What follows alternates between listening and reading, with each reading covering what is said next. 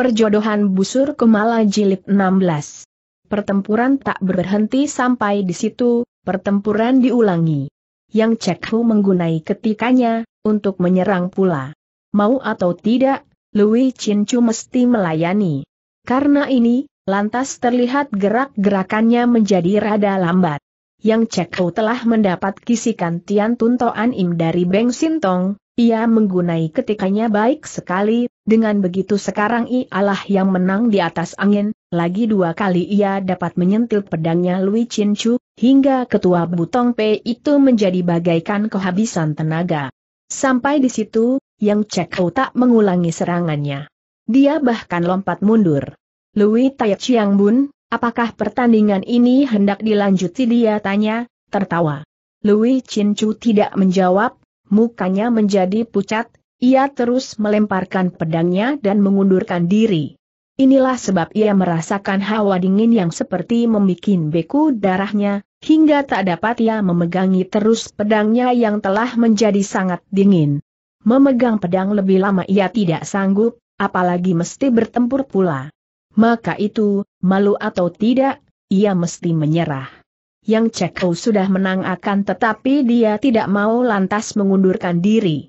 Dia berdiri tegak di tengah gelanggang, dia katanya ring, Butong Pei sudah runtuh seluruhnya, maka itu apa masih ada lain-lain Ciang Bunjin yang hendak mencoba-coba Siu Lo Im Sat Keng Ku ini Lui Chin Chu baru saja tiba di luar kalangan tatkala ia mendengar suara orang yang sangat menghina partainya itu, selain mukanya menjadi sangat pucat seperti muka mayat, ia lantas muntahkan darah hidup dan tubuhnya limbung terhuyung. Tong Sian Siang Jin bersama Kim Kong Tai Su berlompat dari kursi mereka, untuk memperpayang rekan itu. Tubuhnya Lui Chin Chu bergemetar saking dinginnya, ketika ia merasakan cekalan kedua rekannya itu, lantas hawa hangat tersalurkan ke tubuhnya. Ia segera mencoba mengerahkan tenaga dalamnya. Maka itu, dengan lekas, ia merasa lebih ringan. Tapi, dengan muka merah ia kata, hari ini Butong Pei menerima malu besar, sebagai ketuanya, aku malu turut campur lagi urusan di sini, Inilah kekalahan di satu waktu, jangan pikirkan, Pong Sian Siang Jin menghibur. Saudara Lui, silahkan tenteramkan hatimu, kau beristirahat dulu baru saja tertua Butong P itu habis berkata begitu, lalu terdengar suara yang nyaring tetapi halus, siapa berani memandang enteng kepada Butong Pei kami di sini masih ada orang Butong Pei. Sekarang juga aku ingin belajar kenal dengan Siu Lo Im Keng segera orang melihat orang yang mengeluarkan kata-kata itu, ialah seorang wanita muda yang cantik, yang lantas bertindak ke dalam gelanggang, sabar tindakannya. Ialah pengcoan Tian Lie. Nyonya muda yang cantik dan gagah ini menarik perhatiannya seluruh hadirin. Sebab dialah puteri dari negeri Nepal, dia juga Tiang Lo, tertua, dari Butong Pei dan dia pula menantu dari T.Et Kiam Kek Tong Xiaolan. Pribadinya sendiri pun menarik perhatian umum, karena dia sangat cantik.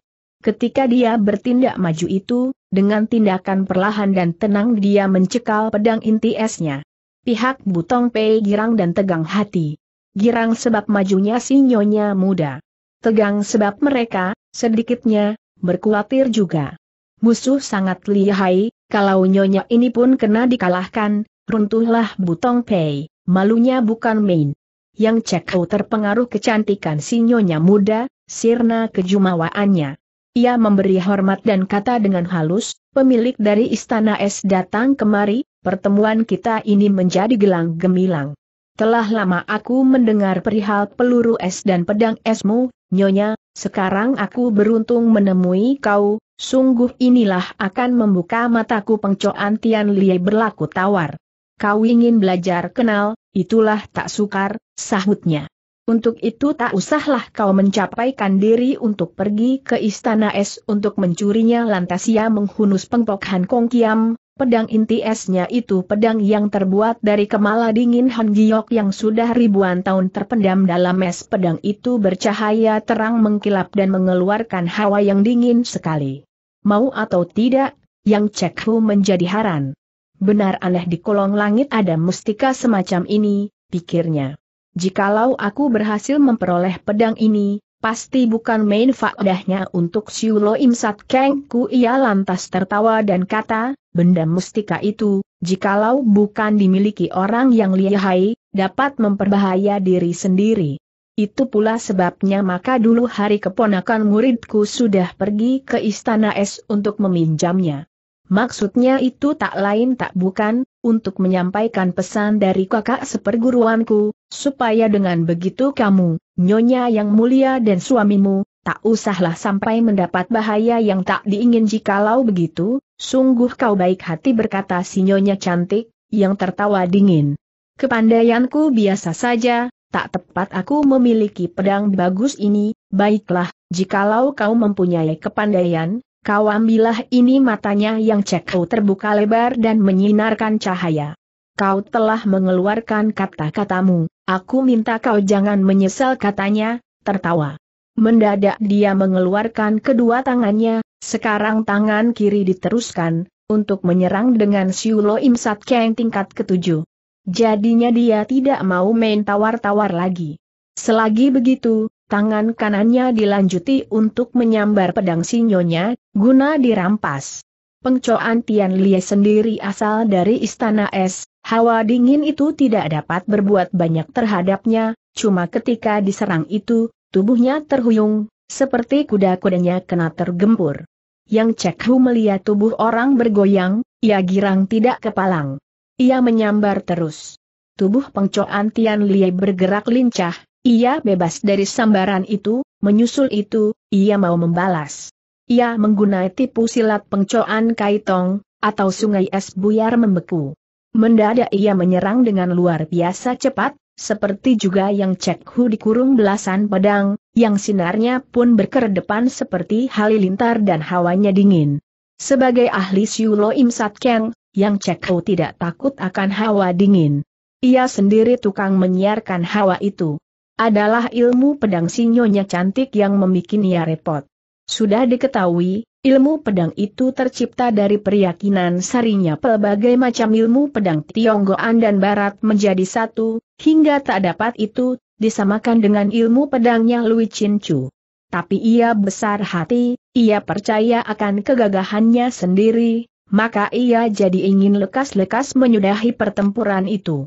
Setelah mengalahkan ketua Butong Pei, ia tak memandang matu kepada nyonya ini. Lantas ia paksa merangsak. Ia mengulur tangannya. Ingin sekali ia dapat merampas pedang mustika itu. Baru ia merangsak itu, atau kembali ia merasakan perubahan yang luar biasa. Pengcoan Tian Liai berkelebatan di sekitar tubuhnya, nyonya itu seperti juga salin diri menjadi belasan, maka juga, pedangnya menikam dan memapas terlebih hebat lagi. Celaka yang Cek Hu berseru di dalam hatinya. Baru sekarang ia terkejut. Terpaksa ia mengubah caranya berkelahi. Tidak lagi ia main sambar, guna merampas pedang. Sebaliknya, ia menolak dengan kedua belah tangannya, guna memukul mundur tubuh musuh. Ketika ini digunai oleh pengcoan Tian Lie yang gesit, lah memisahkan diri sesudah satu kali ujung pedangnya mengenai tubuh orang, ialah jalan darah hunbun dari Cekau kena tertotok. Pedangnya Nyonya Tongkeng Tian bukan sembarang pedang. Coba ia umpama memakai pedang Yuliong Kiam dari suaminya, pasti sudah lawannya terluka, atau sedikitnya tergores baret.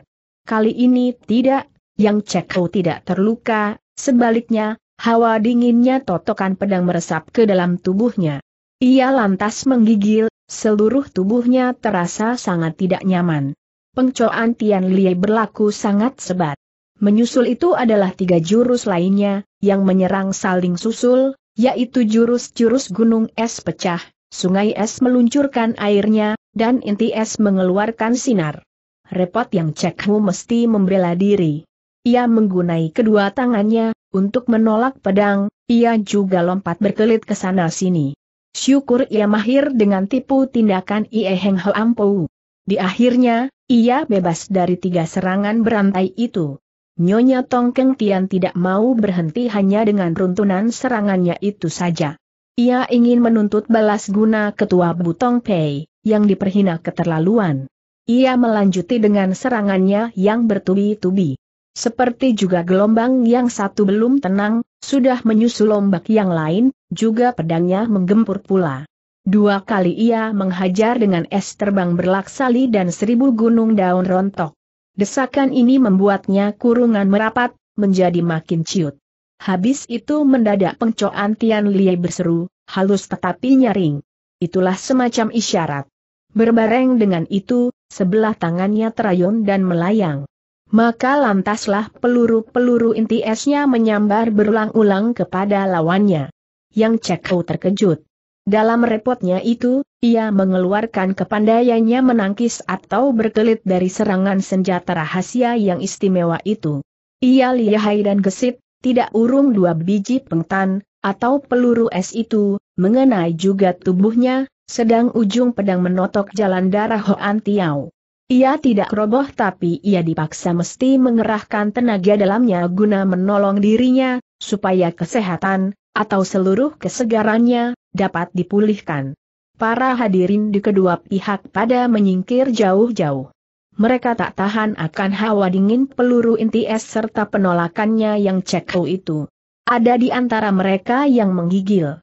Di pihak Butong Pei, orang semua gembira, umumnya mereka berpikir. Pengcoan Tian Lie tidak takut Siu Lo Im Sat Keng, dia lihai ilmu pedangnya dan mahir kepandaiannya enteng tubuh, kelihatannya kali ini kita bakal menang, karena ini juga ada yang memikir, kalau yang cek cuma kosong sampai di situ, Beng Sintong tentulah tak terlalu banyak bedanya. Tentu sekali mereka tidak tahu, di samping Siu Lo Im Sat Keng, Beng Sintong telah memiliki beberapa kepandaian, yang tak dipunyai orang lain. Beng Sintong sudah berhasil mempelajari separuh dari kepandaiannya Kiao Pak Beng seperti apa yang termuat dalam kitab rahasianya, dan yang Cek cuma baru diajari sebagian kecil sekali. Yang Cekhu mesti memikir keras karena tak dapat ia merobohkan pengcoan Tian Lie dengan Pek Hong Chiang, pukulan tangan di udara, atau pukulan kosong, sedang Siu Lo Im Sat Keng tak mempan terhadap putri Nepal itu, yang biasa hidup di istana es yang dingin. Ia lagi berpikir itu ketika ia mendengar suara suhengnya, yang bicara dengan ilmu Tian Tuntoan Im, katanya, bertindak dengan Tian Lo Peo, menyambar dengan Im Yang Jiao, Lalu Pek Hong Chiang inilah tepat dengan apa yang ia baru ingat, yang ia sangsi menggunakannya sebab ia masih belum paham betul. Mendengar kisikan kakak seperguruan itu, ia kata dalam hatinya, Suheng bermata lihai, pastilah ia telah melihat kelemahan pihak sana. Baiklah aku menurut, selagi ia mengambil keputusan itu, lagi dua kali cek terkena pedangnya pengcoan Tian Liet, maka tanpa bersangsi lagi, ia bertindak seperti ajaran suhengnya. Pengcoan Tian Lie puas yang ia sudah berhasil dengan pelbagai tikamannya, ia lantas menikam pula. Tapi kali ini ia menjadi haran. Begitu ia menikam, begitu lawan lolos, lawannya itu lenyap dari depannya, terus dia berada di belakangnya. Ia memutar tubuhnya sembari menabas. Lagi ia tak peroleh hasil. Cek kau dapat berkelit pula. Itulah hebatnya tindakan Tian Lo Peo, yang cepat gerakannya, yang menuruti garis-garis patkwa, hingga tindakan itu lebih menang, daripada Choan Hoa Jiao Siye, ilmu menembusi bunga, mengitari pohon. Siapa paham itu, dia dapat melayani musuh yang sepuluh lipat lebih lihai ilmu silatnya. Sesudah beberapa kali gagal menikam, pengcoan Tian Liai menjadi panas hati. Ketika ia menyerang pula, ia menjejak tanah berlompat tinggi, serangannya pun dengan jurus Hui Pau Liu Choan, atau air tumpah terbang, lah percaya ia bakal berhasil. Tidak tahunya, ia gagal pula. Bahkan kali ini, yang Cekau sudah menggunakan ilmunya yang kedua. Dia tidak berkelit, dia malah dengan berani mengulur tangannya, guna memapaki pedangnya sinyonya, untuk disambar, guna dirampas. Itulah sambaran Im Yang Jiao seperti dia jari Beng Sintong. Sambaran itu sambaran Kim Na Chiu, tangan menangkap, tapi bukanlah tangkapan seperti kepandaian kebanyakan ahli silat. Dengan begitu, tangan Cekau seperti ada tenaga mengisapnya. Pengcoan Tian Lie terkejut. Ialah wanita, bahkan ia seorang putri. mana dapat tubuhnya dipegang sembarang lelaki mungkin serangannya akan berhasil tapi ia sendiri tentunya bakal kena tercekal lawan. Maka itu dengan lekas ia menarik pulang pedangnya sambil ia berlompat mundur. Untuk ini, kaki kirinya dipakai menjejak kaki kanannya. Meski demikian, ujung bajunya kena juga tersambar yang cekau, hingga ujung baju itu robek. Yang cekau tidak berhenti sampai di sini, terus ia berbalik menyerang. Pengcoan Tian Liai menjadi terdesak. Ia menjadi serba salah. Kalau ia mendesak pula, bisa-bisa ia dijambak musuhnya. Saking terpaksa, ia bersiasat membela diri. Dengan begitu dengan sendirinya ialah yang sekarang kena dikurung lawannya. Tapi ia berpikir, ingin aku lihat, dengan tangan kosong, bagaimana kau dapat menyerang aku, yang cekau cerdik, setelah mengurung itu, ia tidak mau terburu nafsu nerobos masuk. Ia sekarang berlaku lincah dan garang dengan kedua tipu silatnya itu, tindakan Tian Lo Po dan sambaran Im Yang Jiao ditambah dengan Pek Hong Chiang, pukulan udara kosong. Ialah sambil mengurung, kalau ia gagal dengan sambaran Im Yang Jiao, ia menyerang pula dengan Pek Hong Chiang. Celaka pikir pengcoan Tian Lie. Ia kaget dan berkhawatir. Pukulan udara kosong dari Yang Cekau berbahaya untuknya. Ia jerit untuk Im Yang Jiao, sekarang ia diancam Pek Hong Chiang. Selagi bingung itu, ia memikir tak ada lain jalan daripada mundur. Ia percaya tidak nanti musuh dapat merintangi ia keluar dari gelanggang, meski dengan begitu ialah yang terhitung kalah. Hebat Tian Lo Po dari Yang Cek Hu. Kecuali dapat dipakai untuk menjaga, ilmu itu juga bisa digunakan untuk memegat. Ketika Cek Hu melihat gelagat sinyonya mau menyingkir, ia lantas menerka. Lantas ia membentak, kau mau menyingkir gampang. Kau tinggalkanlah pedangmu dan tubuhnya mencelat ke arah ke mana sinyonya mau nerobos keluar, tangannya diulur untuk menyambar dengan im yang jauh. Pengcoan Tian Lie tidak sudi kasih tubuhnya kena diraba, ia berkelit, ia menyingkir ke lain arah, akan tetapi dengan tak kalah cepatnya, yang Cekhu kembali sudah menghadang di depannya.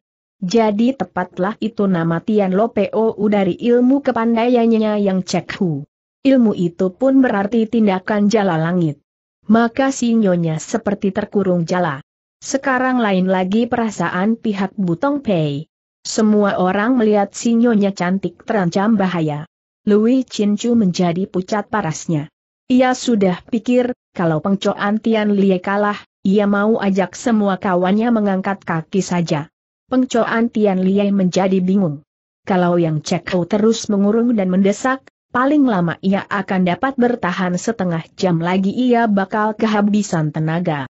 Justru begitu, tiba-tiba telinganya mendengar suara yang ia kenal, perlahan, bertindak ke garis kian, mutar ke kedudukan soan, lantas hajar kupingnya dengan pengpok sintan ia tercengang. Ketika itu, yang Cek Huju seru berada di belakangnya, dalam garis kun, untuk menyerang padanya. Itulah ajaran yang bertentangan dengan pemikirannya. Tapi suara itu ia kenal baik, suara itu pun bersifat memerintah. Biarlah pikirnya.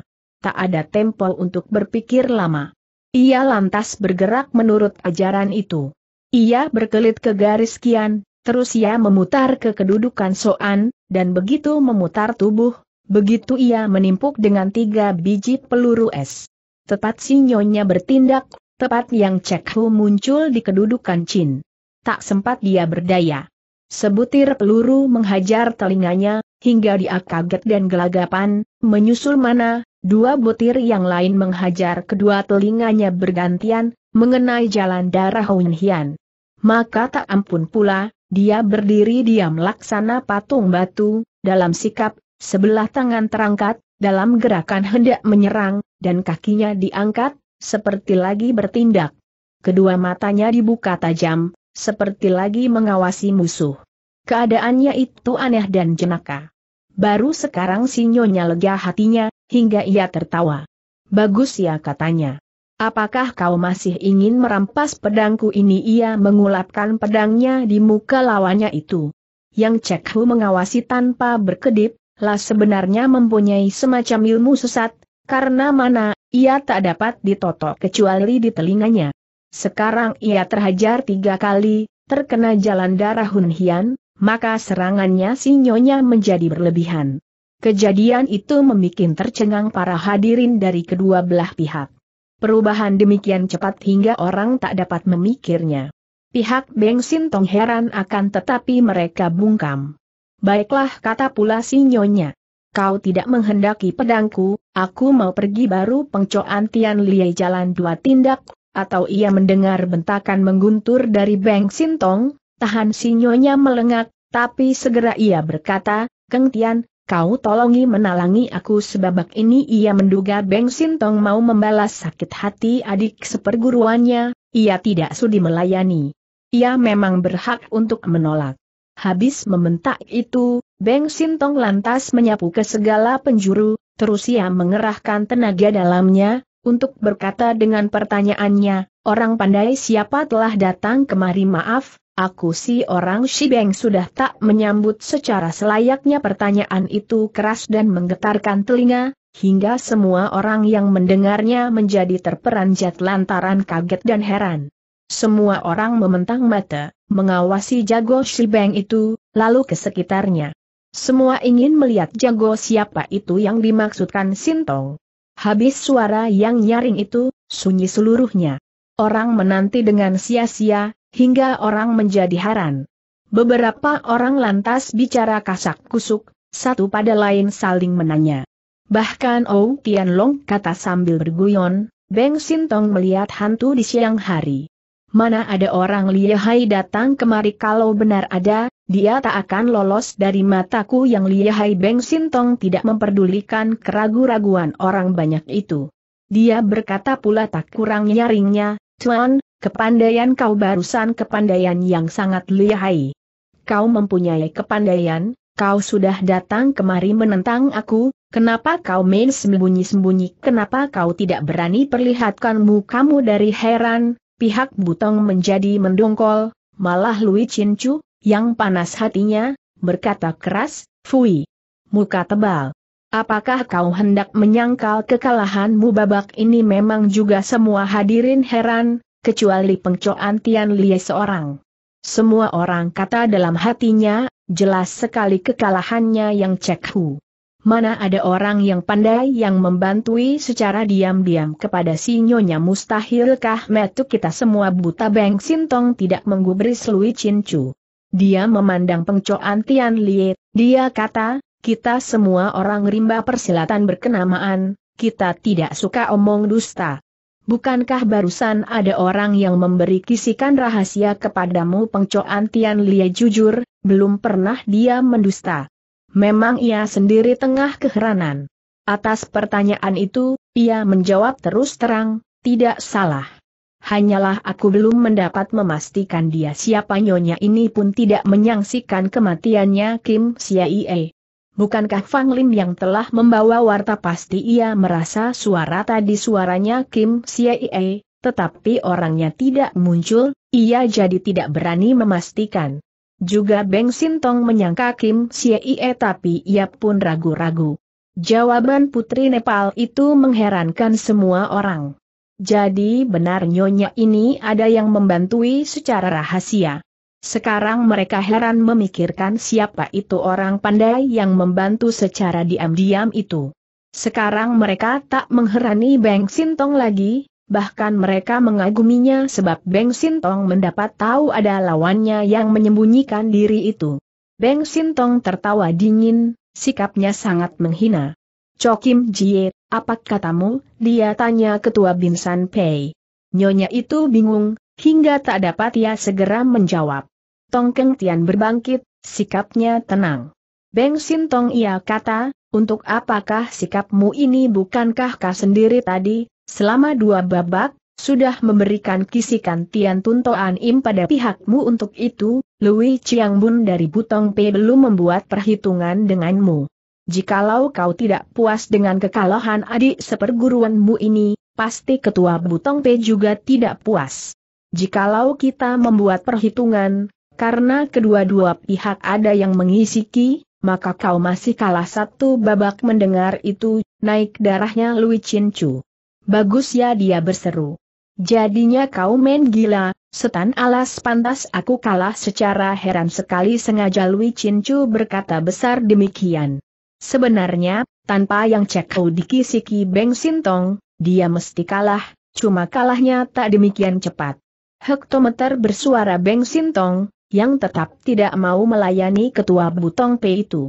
Sebaliknya, ia heran terhadap Tong Keng Tian. Ia kata dalam hati kecilnya, kenapa dia tahu tentang Tian Tuntoan Im dari aku ia menyangkal, ia kata berlagak pilon, apa itu Tian Tuntoan Im apakah kau dengar aku mengisiki apa Keng Tian ketahui tentang Tian Tuntoan Im dari pendengaran saja. Ia mendapat tahu itu dari Tong Sian Xiong Jin. Sendirinya ia belum pernah melihat ilmu itu. Kim Kong Tai Su dan Tong Sian Xiang Jin sendiri belum tahu juga, bahkan mereka tidak mendengar suaranya Beng Sintong tadi, Keng Tian berkata demikian karena sekian lama itu ia selalu mengawasi Beng Sintong dan melihat orang berkelemik-kelemik, hingga ia menjadi menerka. Ia cerdik, ia tidak kasih dirinya didesak.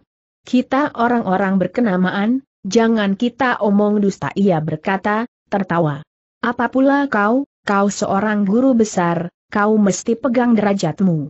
Apakah yang kau katakan tadi kau tahu sendiri? Aku tahu juga. Dan Sutemu ketahui baik sekali.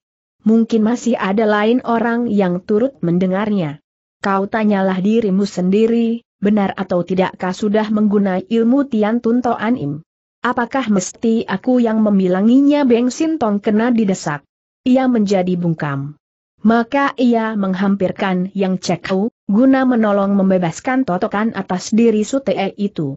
Habis itu barulah ia membuka matanya dan kata, apakah kau kira aku berpandangan cepat apakah kau hendak menyangkal kesudahannya babak pertempuran istrimu ini memang istrimu lihai, baik ilmu pedangnya maupun ilmunya ringan tubuh, begitupun kepandaiannya melepas senjata rahasia. Hanyalah, tanpa kisikan itu, tidak nanti dia memperoleh kemenangan. Tapi dia sudah menang, aku tidak mau menyangkal dengan kata-kata itu, Beng Sintong mau bikin dia benar seorang guru besar yang menghargai kehormatan diri. Sampai di situ, orang menyangka urusan sudah habis. Tapi hanya berhenti sebentar, Beng Sintong sudah membuka pula mulutnya. Aku bukan merewelkan soal menang atau kalah katanya. Kamu mempunyai pembantu di luar kalangan, yang bekerja secara menggelap, itulah tak selayaknya. Tak dapat tidak, dia mesti disuruh muncul di sini. Nanti aku turun sendiri, untuk melayani dia inilah soal sulit untuk Butong Pei atau Binsan Pei, buat semua hadirin di pihak lawan. Ke mana Chok Kim Jae mesti cari pembantunya itu, Kang Lam pun heran.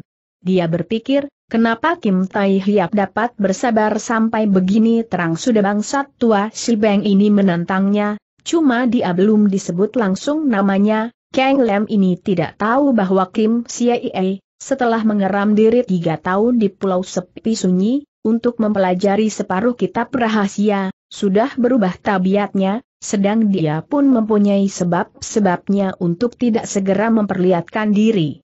Masih Beng Sintong mengulangi tantangannya, setelah tiga kali dia tetap tidak memperoleh jawaban, dia menjadi sangat gusar, dia kata pada Chok Kim Jie, tetapi ini tempatmu, kau sudah menyembunyikan orang, maka aku cuma mau berhitungan denganmu sementara itu, Tong Keng Tian juga sudah menduga kepada Kim Siaie, ia hanya heran hingga, seperti Kang Lam, ia berpikir, sampai saat ini dia masih belum mau keluar, Apakah benar tabiatnya masih belum berubah, hingga urusan ini dia memandangnya secara guyon sekarang ini lain kesannya kentian terhadap CIA, karena ia tidak memandang lagi orang sebagai musuh, hanya sebagai sahabat.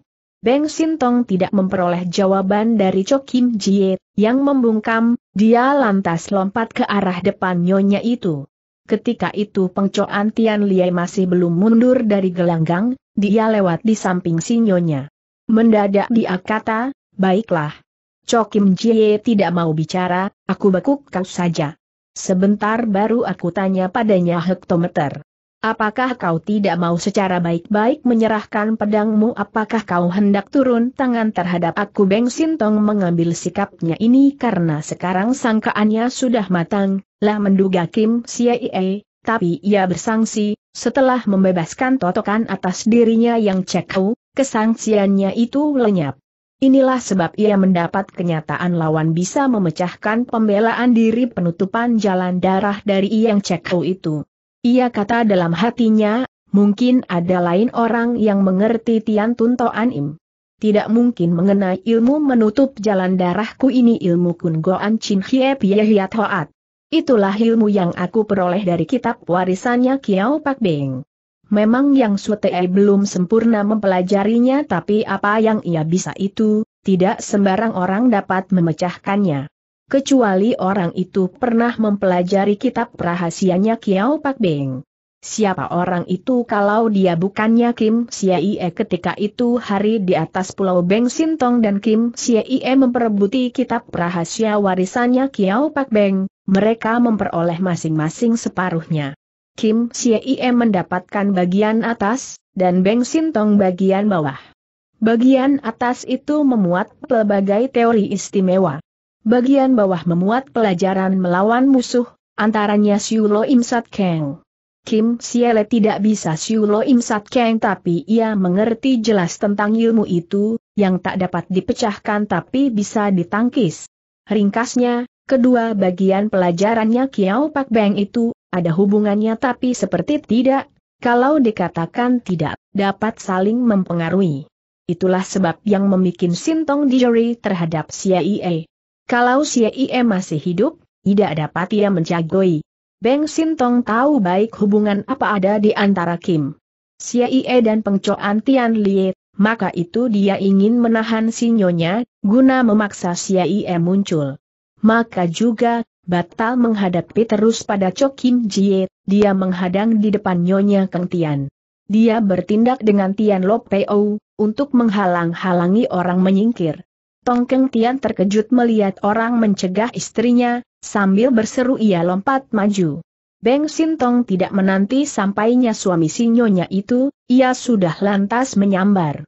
Pengcoan Tian Lia tidak diam saja, ia melawan dengan timpukan peluru inti esnya, bahkan beruntun ia menimpuk tujuh kali terus-menerus. Beng Sintong lihai luar biasa. Dia mementang mulutnya lebar-lebar, untuk menanggapi semua peluru es itu, untuk ditelan. Kalau yang Cekau terkena itu menjadi beku seluruh tubuhnya, jago tua ini sebaliknya, dia malah menjadi tambah kuat. Dia tertawa lebar dan kata, bagus, bagus. Inilah melebihkan khasiatnya pil si Poan Tai Po Tan Beng Sin Tong benar. Dia sudah mencapai Siulo Imsat Keng tingkat 9, tingkat terakhir, es istimewa itu membuat ia tambah kuat tenaga dalamnya. Pengcoan Tian Lie terperanjat, ia lompat untuk menyingkir, tapi Beng Sintong tidak mau sudah, dia lompat sambil mengulur tangannya, guna menyambar pula. Berbareng dengan itu, di udara terdengar satu suara mengaung, lalu tertampak satu sinar berkilau dan emas hitam, yang datang menyambar.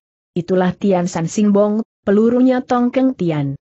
Itulah senjata rahasia, yang bersama pedang Yuliong Kiam, yang membuat Leng Wei e Hong, jago generasi kedua dari Tian San Pei, dapat menjagoi. Maka itu, melihat senjata itu, Beng Sintong pun terkejut. Ia kata dalam hatinya, kalau Tong Xiao Lan ada di sini, dia dapat menjadi musuh berat bagiku, lah membatalkan sambarannya kepada pengcoan Tian Liet, ia menarik pulang tangannya, guna menyentil jatuh sinbongnya kengtian itu. Meski begitu ia merasa jari tangannya kesemutan dan kaku. Tong Sian Siang Jin lantas maju ke muka. Jikalau ada bicara, mari kita bicara dengan care baik ia kata sabar tapi nadanya keren. Kenapa mesti mempersulit segala anak muda, Beng Sintong ketahui pendeta itu pendeta suci, ia pun mesti menghormati dirinya, maka ia melepaskan pengcoan Tian Lie. Ia kata, baiklah, jikalau Siang Jin menaruh belas kasihan terhadapnya. Sekarang aku mau tanya Chok Kim Jie saja, untuk minta orang dari dianya kau keliru, Beng Sian Seng berkata Tong Sian Siang Jin sabar. Turut pikiran Lo Olap, taruh kata benar di sini ada orang lihai yang menyembunyikan diri, dia bukanlah orang yang diundang Cho Chiang Bun. Sian Seng sendiri tidak dapat mencari orang itu, kenapa Sian Seng memaksakan atas diri si Nyonya Kim Kong Tai Su juga turut bicara, katanya, mungkin orang lihai itu orang yang gemar bergurau. Dia mungkin melihat Beng Sian Seng memberi kisikan kepada Sute Emu, dia menjadi tangan gatal, dia meniru sepak terjang Sian Seng, dia pun mengasih lihat kepandaiannya itu. Karena dia lihai, tidak mungkin dia penakut, karena itu tepatlah kalau Beng Sian Seng menantang padanya. Orang lihai sekarang ini tidak seberapa gelintir, Beng Sian Seng sangat lihai, mesti Sian Seng dapat menerka dia siapa. Kenapa sekarang Sian Seng justru memperbesar urusan kecil baru pendeta itu berkata demikian, atau Kang Lem memperlihatkan kepalanya di antara orang banyak rombongannya, sembari tertawa menyeringai, dia berkata, kata-kata Taisu pantaslah ditambahkan kata-kata mengacau Beng Sintong gusar bukan main. Orang kata dia memperbesar urusan kecil, sedang di matanya, urusan penting sekali. Ejekannya Kang Lem menambah kegusarannya itu. Kamu kata urusan kecil dibikin besar dan aku mengacau dia berseru. Baiklah, sengaja aku mengacau. Hendak aku menghajar Chok Kim Jie dengan 300 rangketan. Dia sudah melanggar aturan pertempuran. Kenapa dia membiarkan lain orang datang kemari dan memusuhkan aku secara menggelap? Mungkin dia itu bukan orang undangannya toh dia sudah bersalah kurang periksa. Dia harus bertanggung jawab ah, Beng Sian Seng, mengapa kau berkeras begini, berkata Kim Kong Taisu. Tapi dia dipotong Beng Sintong, yang membentak, siapa tidak puas, mari dia bicara dengan aku. Memangnya aku telah melepas kata bahwa aku hendak menempur kamu kepala pelbagai partai. Chokim J menggigil saking gusarnya. Angin busuk dia membentak. Kau kira aku Cokim J orang macam apa care bagaimana kau berani membuka mulut mengeluarkan kata-kata kotor apakah kau menganggap kaulah ketua Bin San Pei yang harus dihormati tanya Beng Sintong. Di mataku, kau tak berharga sepeser buta cek kau, Xiao Hong, mari, kau bekuklah di adalah murkanya, Beng Sintong maju, tangannya dipentang. Beberapa orang, yang berada di dekatnya, terpelanting karenanya. Kim Kong Taisu menjadi habis sabar. Beng Sian Seng, marilah kita berdua main-main kata, terpaksa. Pendeta ini bicara sambil duduk, dia terpisahkan sedikit jauh dari Sintong, yang maju terus, maka kembali dia menyampok roboh beberapa orang, lah menyampok, bukannya menyerang, ia hanya mau bertindak maju. Tiba-tiba, Xiao Beng, Lohu berada di sini, jangan kau begini kurang ajar itulah kata tiba-tiba, disusul oleh orangnya, yang berlompat maju dari samping sambil terus menyerang. Beng Sintong gusar. Ia dipanggil Xiao Beng, artinya si Beng yang kecil atau muda. Sebaliknya orang itu menyebut diri Lohu, si orang tua. Tak senang ia dipermainkan. Maka, tanpa melihat tegas siapa orang itu, dia mendamprat Makhluk apa itu yang berani menyebut dirinya si orang tua ia lantas menyampok dengan ciam ie sipatiat, sampokan 18 kali melanggar baju. Tapi ia mendapat perlawanan keras. Tangan bajunya kena dibikin memberbet pecahlah menyampok sia-sia, ia gagal. Maka ia menjadi bertambah mendongkol, dengan lantas dia menggunai Siulo Imsat Keng.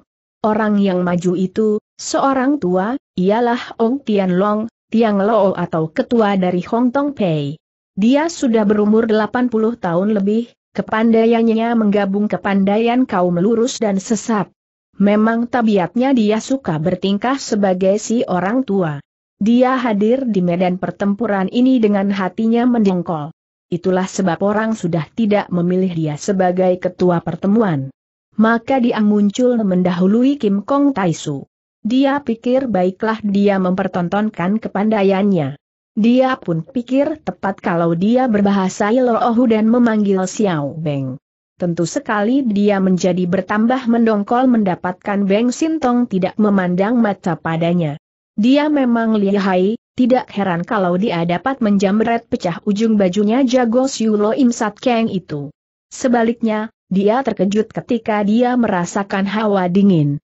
Syukur dia mempunyai kepandaian Tian Lo Pou dan Kucong Pa In Sin Hoat, maka ia bisa menyelamatkan dirinya.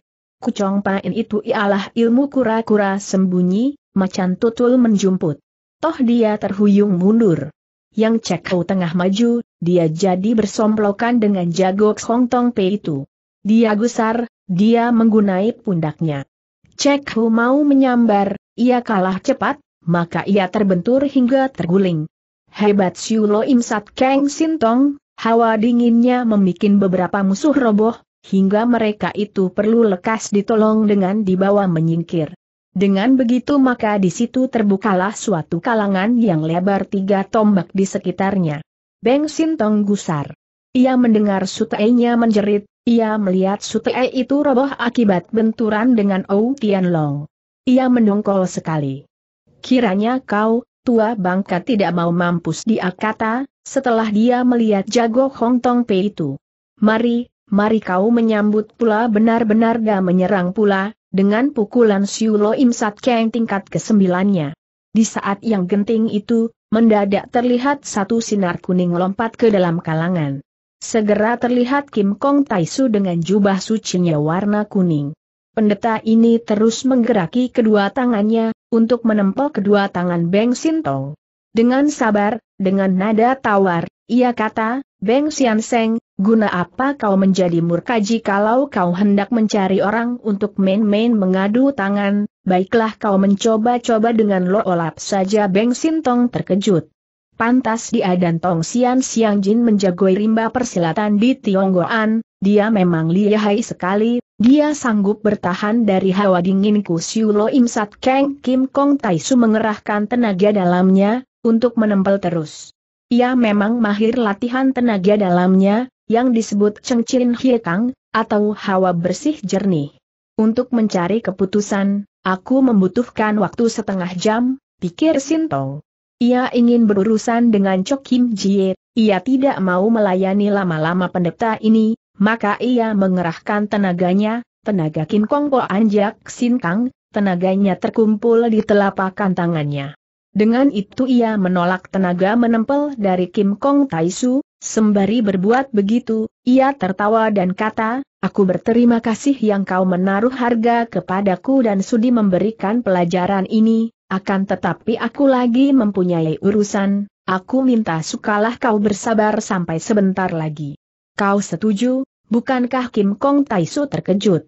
Ia percaya kemahiran dirinya sendiri, akan tetapi tatkala Beng Sintong menolak itu, ia merasa darahnya seperti bergolak naik berbareng hawa sangat dingin tersalur ke tangannya terus ke tubuhnya.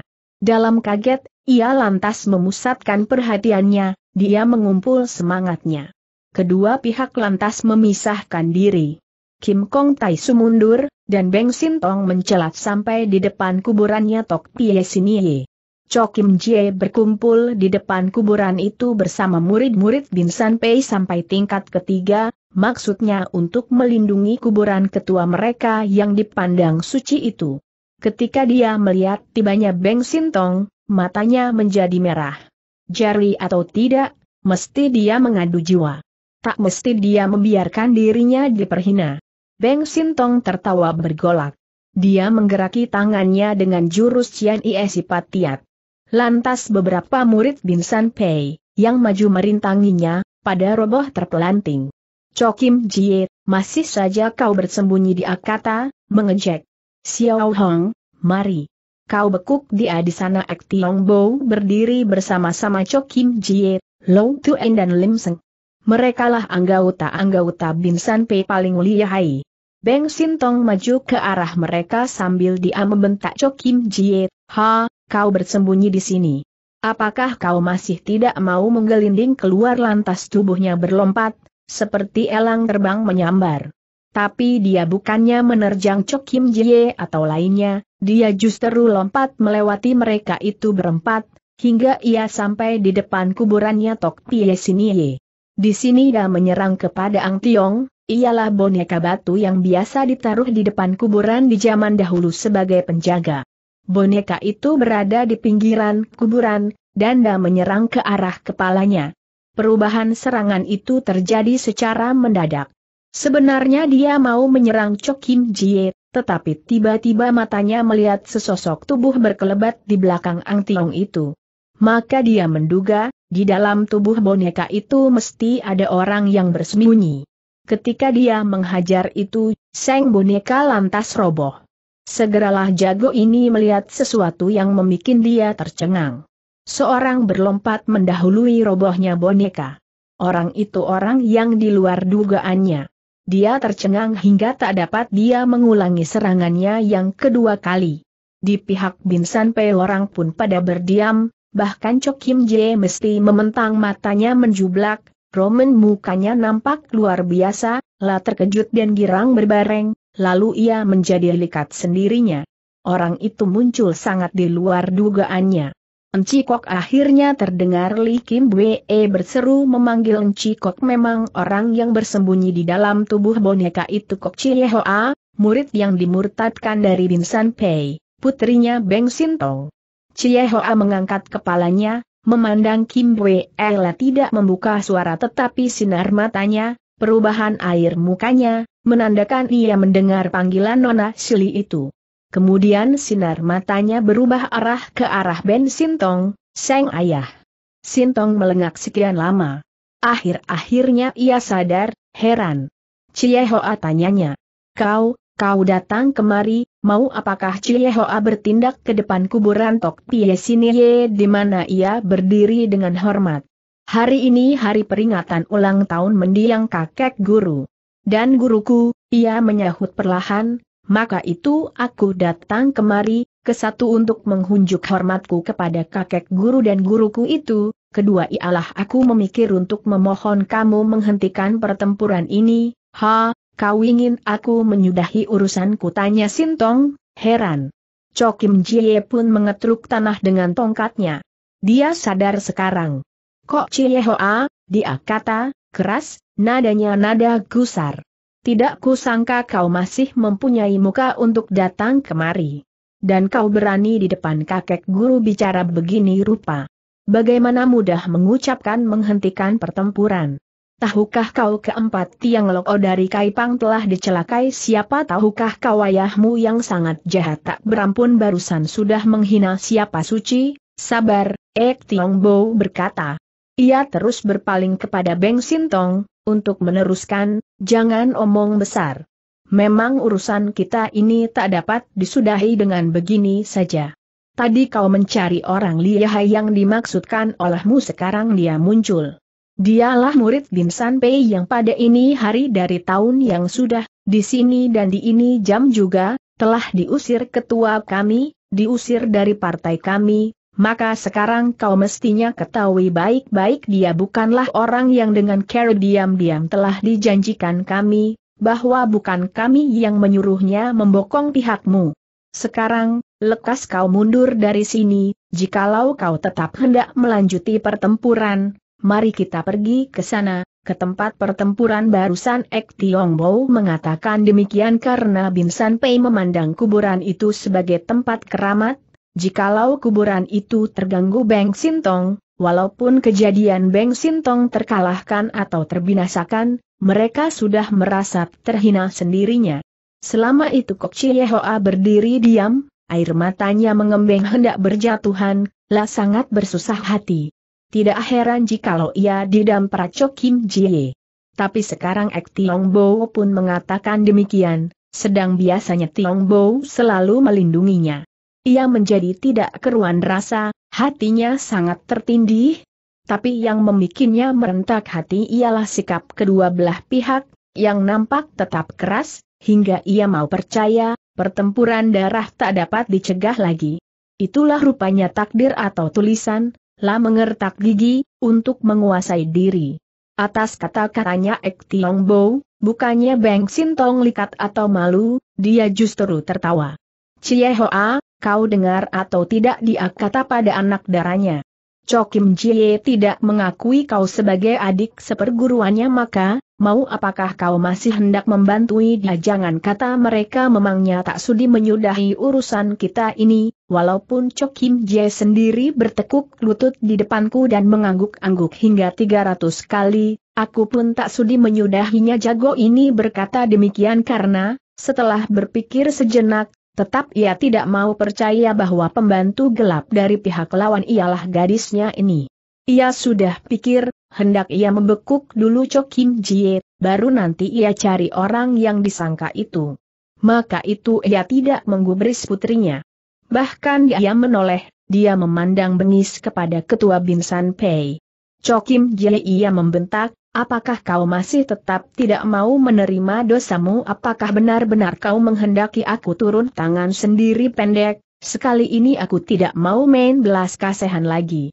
Akan aku memikin jiwa kamu tak bakal lolos pula sambil berkata begitu, Sintong menggerakti kedua tangannya ke arah Chok Kim Jie.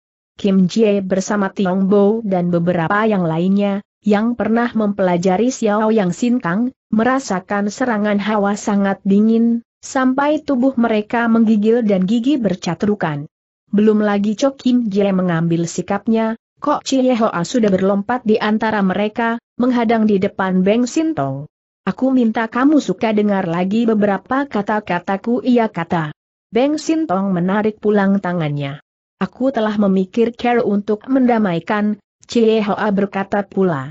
Hanya itu dapat dijalankan atau tidak, aku minta sukalah kamu kedua belah pihak memikirkannya, kau bicaralah, aku mau dengar, kata Sintong. Chie Hoa memandang ayahnya itu. Kau telah mencelakai empat tiang loko dari Kaipang, katanya, kau juga memaksa menghina guru besar pelbagai partai di sini, dalam hal itu semua, Kaulah yang keliru Beng Sintong mengasih dengar suara hektometer mendengar ia dipersalahkan.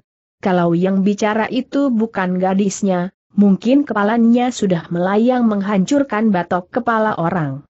Cie Hoa tidak memperdulikan ayahnya senang atau tidak, ia terus menoleh kepada Chok Kim Jie. Ia kata, di dalam rimba persilatan ada kata-kata yang berarti bahwa membunuh orang itu sama mudahnya dengan menganggukkan kepala. Maka itu aku mengharap, jikalau pihak sana dapat menginsyafi kesalahannya, kau suka memaafkannya. Pasti sekali, mengaku salah itu bukan hanya kata-kata kosong meminta maaf, untuk itu aku mau minta dipenuhkan tiga syarat, mukanya Sintong berubah menjadi guram. Kau menghendaki aku menghaturkan maaf kau ingin aku minta ampun kepadanya katanya sengit.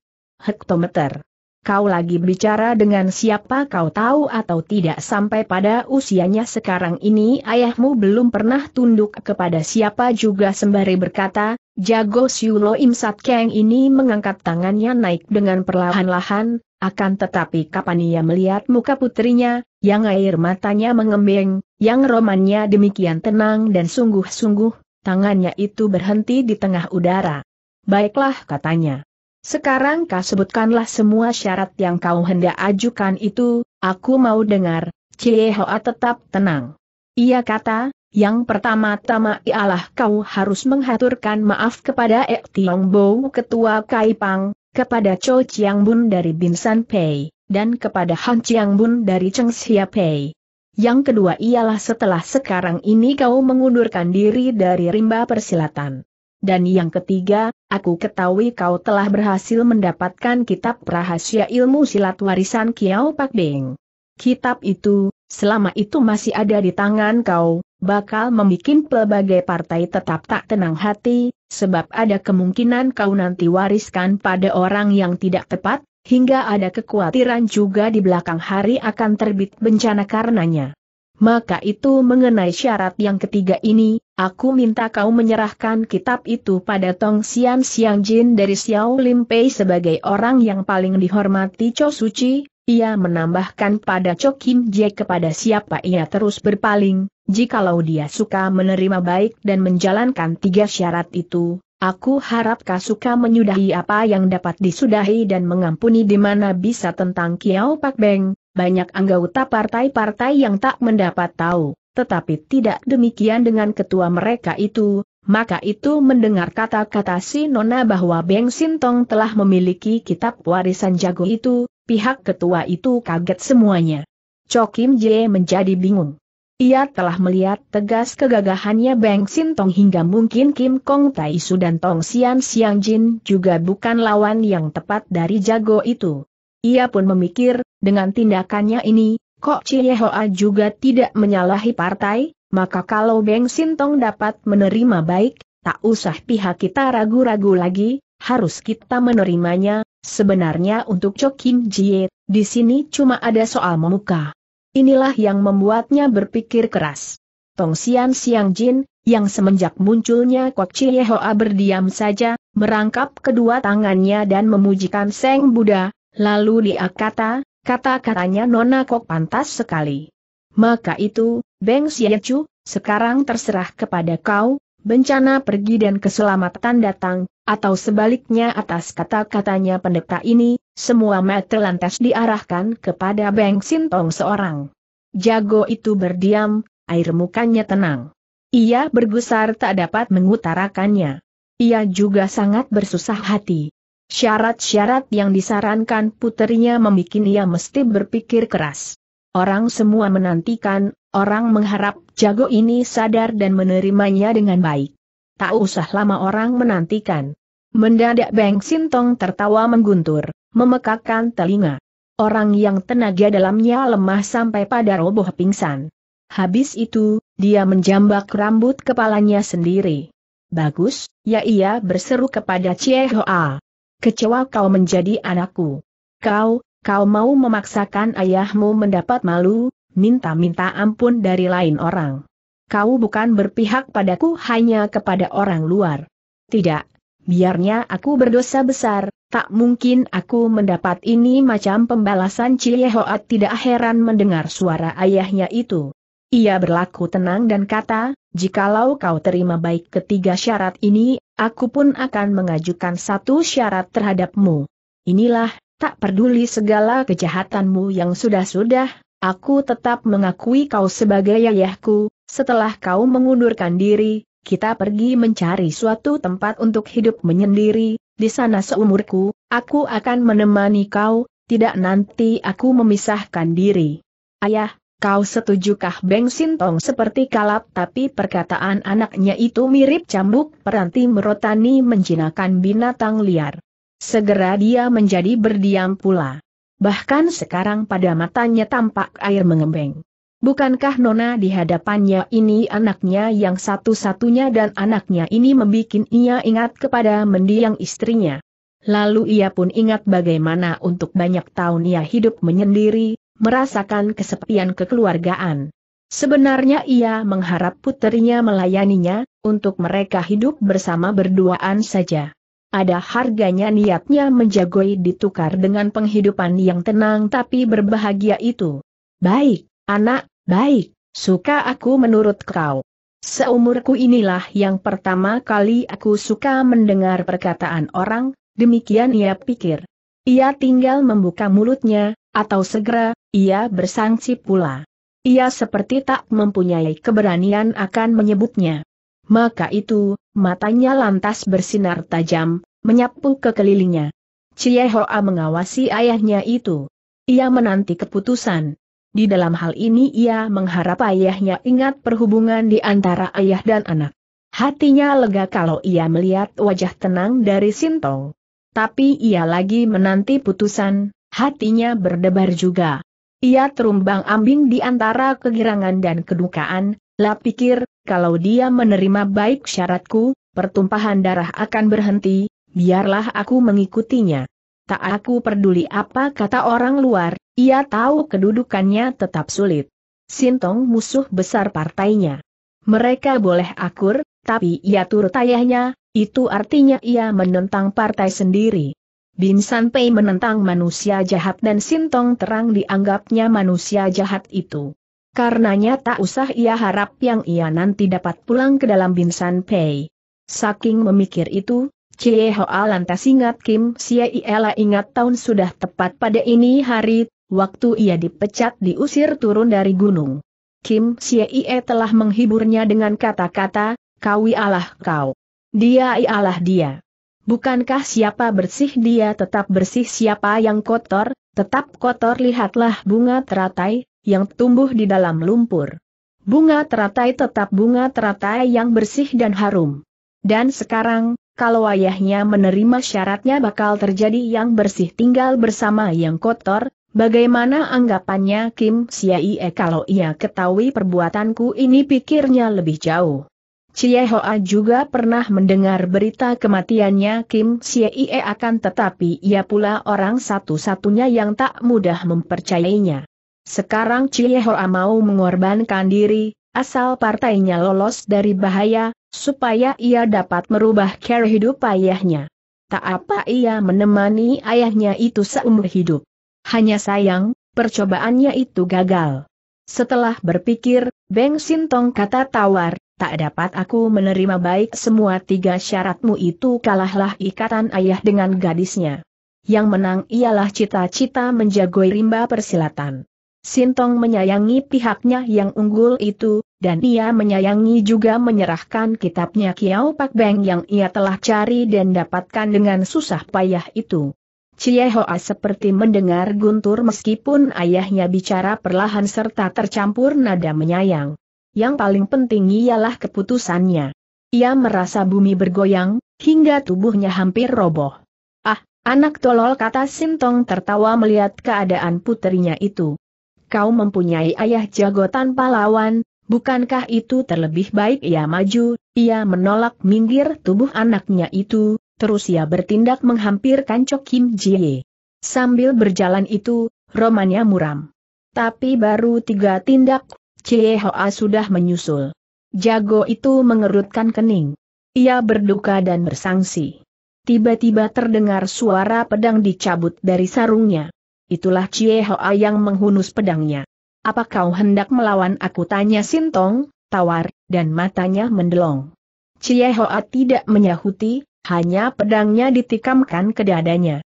Chokim Jie berteriak bahna kaget. Berbareng dengan tikaman itu, suatu sinar hijau menyambar pedang, lantas terdengar suara yang nyaring, terus senjata itu jatuh ke tanah. Berbareng dengan itu juga Sintong mengulur kedua tangannya menyambar ke arah putrinya. Semua itu berjalan dengan cepat sekali. Mendadak Sintong merasai tolakan keras ke arahnya. Itulah gerakannya Tong Sian Siang Jin serta Kim Kong Taisu. Kedua ketua partai ini bertindak menghampirkan Chok Kim Jie selagi Kim Jie bicara dengan Sintong, untuk melindunginya. Maka itu, mereka berada dekat satu dengan lain.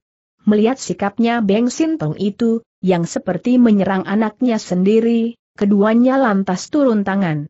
Beng Sintong sempat membela diri.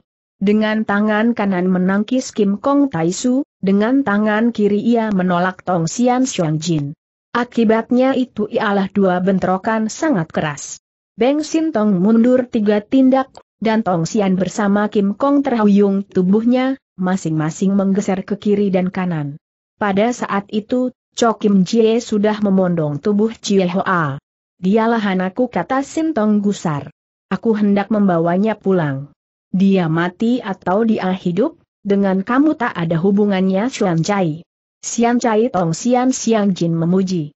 Memang Lo Olap tak dapat mencampur tahu urusan kamu ayah dan anak tetapi di sini ada orang yang berhak mengurusnya. Ia lantas berpaling kepada Cho Kim Jie, untuk meneruskan berkata, bukankah aku benar Cho Chiang Bun, urusan ini kaulah yang berhak menyampur taunya. Kim Jie menyerahkan Chie Hoa pada salah seorang murid wanitanya, dengan tenang tetapi sungguh-sungguh, ia lantas berkata, hari ini sebagai ketua Binsan Pei hendak aku mengumumkan. Aku menyatakan bahwa Kok Chiehoa semenjak hari ini sudah diterima pula di dalam Binsan Pei pengorbanan Chiehoa itu menggedur hati sanubarinya ketua ini, hanya sayang, kata-katanya itu tak didengar Chiehoa, yang tetap pingsan. Di dalam kalangan rimba persilatan, ayah dan guru sama dihargainya, akan tetapi di saat terjadinya satu perselisihan di antara Seng Ayah dan Seng Guru, maka aturan memastikan orang mengikut pada gurunya, kecuali dia menyatakan sendiri meninggalkan perguruan atau partainya. Di dalam halnya Kok Chiehoa ini sudah jelas, semua orang mendengar tegas, untuk menyudahi pertempuran, dia memilih ayahnya memilih untuk menyudahi, bukan untuk menentang partai.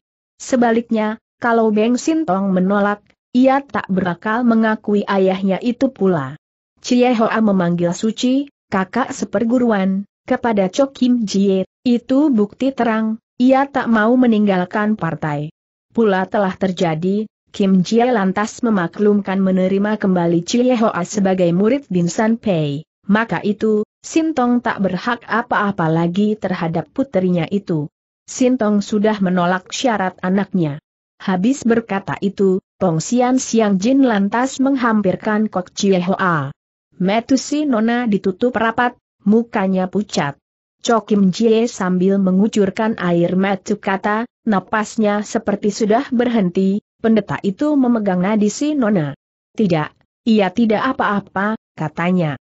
Kim Jie berdiam, ia mau percaya pendeta ini, meskipun ketika barusan ia memondong Chie Hoa, tubuh si Nona dingin sekali. Dia tidak apa-apa, Pong Sian Siang Jin mengulangi. Cuma aku pun tidak berdaya membuatnya mendusin, apakah dia terkena obat pulas Kim Jie tanya. Tong Sian menggeleng kepala. Jikalau dia terkena obat pulas, itulah mudah diurus, sahutnya. Dia kena totokan yang luar biasa. Loalap cuma mengetahui tetapi tidak berdaya, Hoa itu terkena totokannya Sintong, yang menggunakan ilmu totokan Xiao Yao Cie yang ia peroleh dari kitabnya Kiao Pak Beng. Totokan itu tak membahayakan jiwa tetapi si korban tak akan sembuh kecuali disadarkan oleh orang yang mengerti ilmu totok itu. Sintong menotok anaknya tiga sebab, pertama supaya si anak tak dapat membunuh diri, kedua supaya anak itu tak usah ngoceh terlebih lama pula, dan ketiga, andai kata anaknya itu ditolong lain orang, orang itu pasti tak dapat menyadarkannya. Hati Kim Jie lega juga sedikit. Habis bagaimana ia tanya Tong Sian Xiong Jin.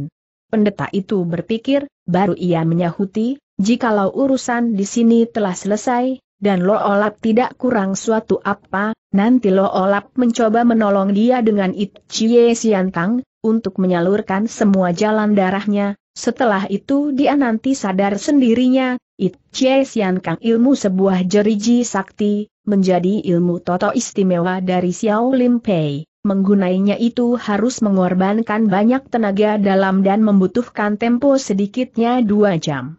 Maka itu, selagi menghadapi musuh, tak dapat ia membuang temponya. Penjelasan itu menambah lega hatinya ketua Bin San Pei. Mengingat Tong Sian begitu baik hati dan suka berkorban, ia jengah sendirinya. Ia ingat bagaimana keras ia memperlakukan Chie Hoa, siapa sangka nona itu tak segan mengorbankan diri untuk perdamaian. Tong Sian dapat mengasihani, kenapa ia tidak jikalau begitu, berkata Ek Tiong Bo, baiklah Cie Hoa dibawa dulu ke wihara, supaya dia tak dirampas lagi oleh Beng Sintong, kau benar, Kim Jie kata. Cuma ia perlu dikawani dua orang yang lihai, ketika tadi Tau Chiao Beng memecahkan barisan Butong Pei, ada beberapa imam yang terlukakan, mereka itu juga perlu disingkirkan, untuk dirawat, mereka harus dilindungi juga. Li Kim Bwe diam-diam menarik tangan ibunya. Fang Lim tertawa dan kata, aku tahu kau ingin menemani Enci kau kau itu. Baiklah, mari kita sama-sama mengantarkannya, tepat sekali apabila ini Nyonya Gagah yang pergi, karena di situ, kegagahannya tak ada di bawahan Tong Sian Siang Jin dan Kim Kong Taisu. Nyonya itu baru berkata itu, lantas ia menambahkan, Ciong Tian mari kau turut. Saudara-saudara imam itu pria semuanya, kaulah yang menilitnya, Alasan Fang Lim kuat, tetapi di samping itu, ia mengandung maksud lain. Ialah ia ingin Kim Bwe didampingi pemuda itu, supaya si muda-mudi dapat keleluasaan bergaul bersama. Untuknya si pemuda telah dipandang sebagai menantunya. Ciong Tian senang sekali menerima tugas itu, tak peduli ia berat meninggalkan medan adu jiwa. Kalau pertempuran dilanjuti, ia akan menyaksikan ilmu silatnya semua orang yang lihai itu. Tong Sian Siang Jin berpaling kepada Beng Sintong. Beng Chu, katanya, orang lihai yang kau cari sudah kedapatan, orang yang mau merekoki urusan juga sudah berbicara, maka itu bagaimana pendapat Siecu sekarang apakah kita harus melanjuti janji kita, untuk bertempur terus Beng Sintong berpikir cepat. Melanjuti pertempuran berarti ia harus membekuk Chok Kim Jie. Itu berarti pertempuran bakal jadi kacau sekali. Kalau mereka tidak memegang aturan lagi, berarti ia melayani Tong Sian Siang Jin serta Kim Kong Tai Su berdua. Kalau mereka bertempur menurut aturan, lebih besar pengharapannya. Maka ia mengangguk. Semua orang lantas kembali ke gelanggang pertempuran tadi, semua mengambil tempatnya masing-masing. Selama itu Beng Sintong mengasih lihat sikapnya yang dingin dan keren. Sikapnya itu dapat membuat orang dijeri terhadapnya. Ia didampingi Yang Cek Hu dan Kiai Xiao Hong. Tadi Cek Hu dilukai kakinya oleh Hong Tian Long, oleh karena itu jalannya pincang dan romannya kucai. Xiao Hang sebaliknya gembira.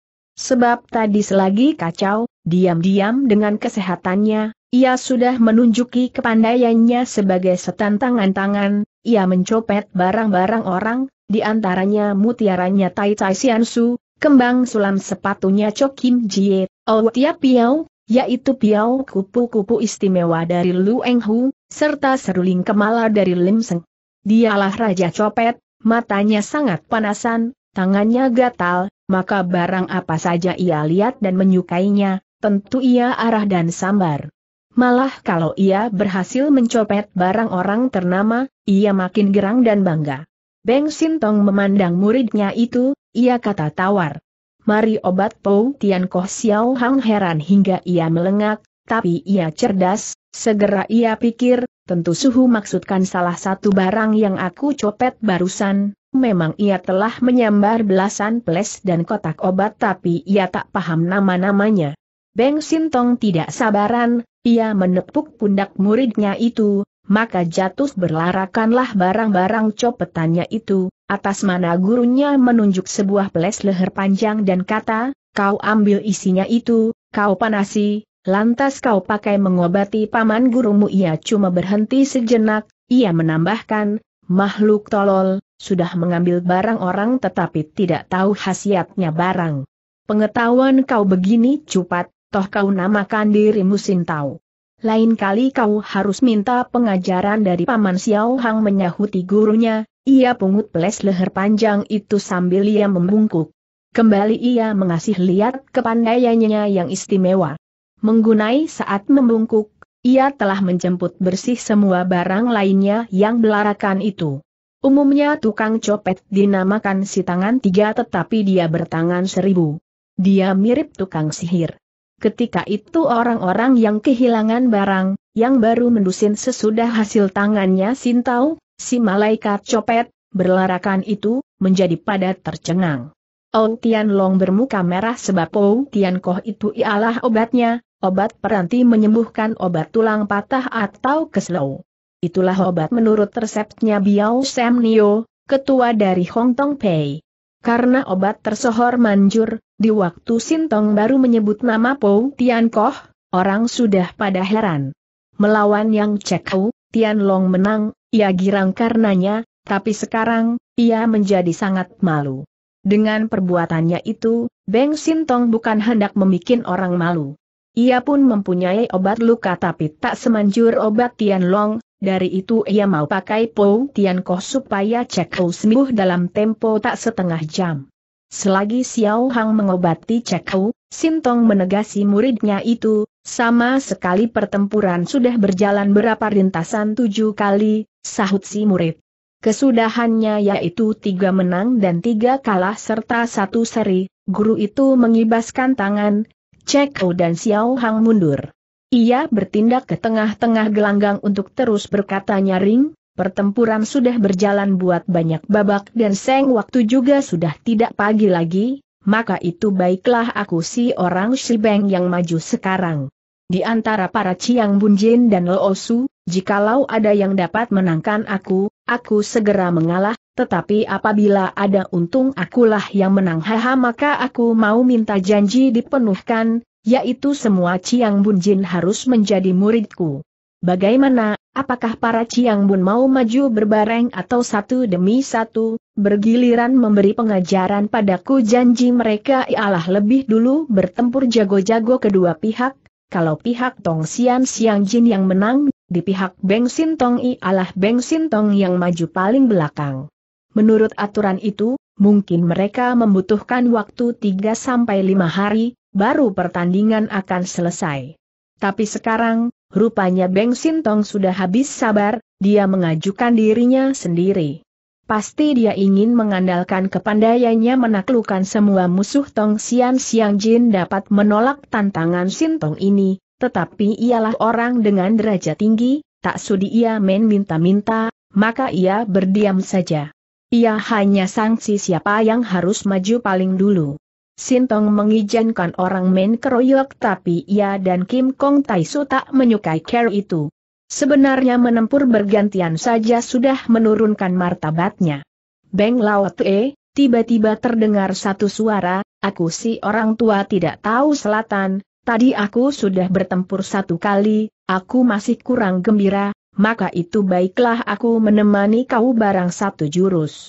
Bagaimana, setujukah kau penantang itu yang menyebut dirinya si orang tua, ialah Ong Tian Long.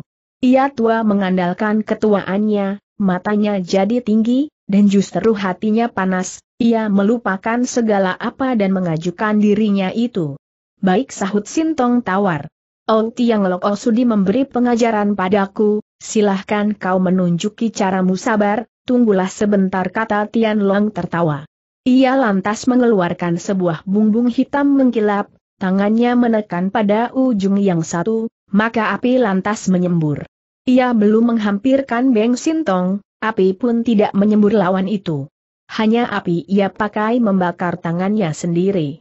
Semua orang heran melihat dikeluarkannya bumbung, sekarang orang menjadi terlebih heran pula, hingga ada yang pikir, kenapa orang tua ini begini aneh kelakuannya dia toh yang paling tua di sini meski dia menggunai api, mana bisa dia membakar bensin tong sekarang dia membakar tangannya.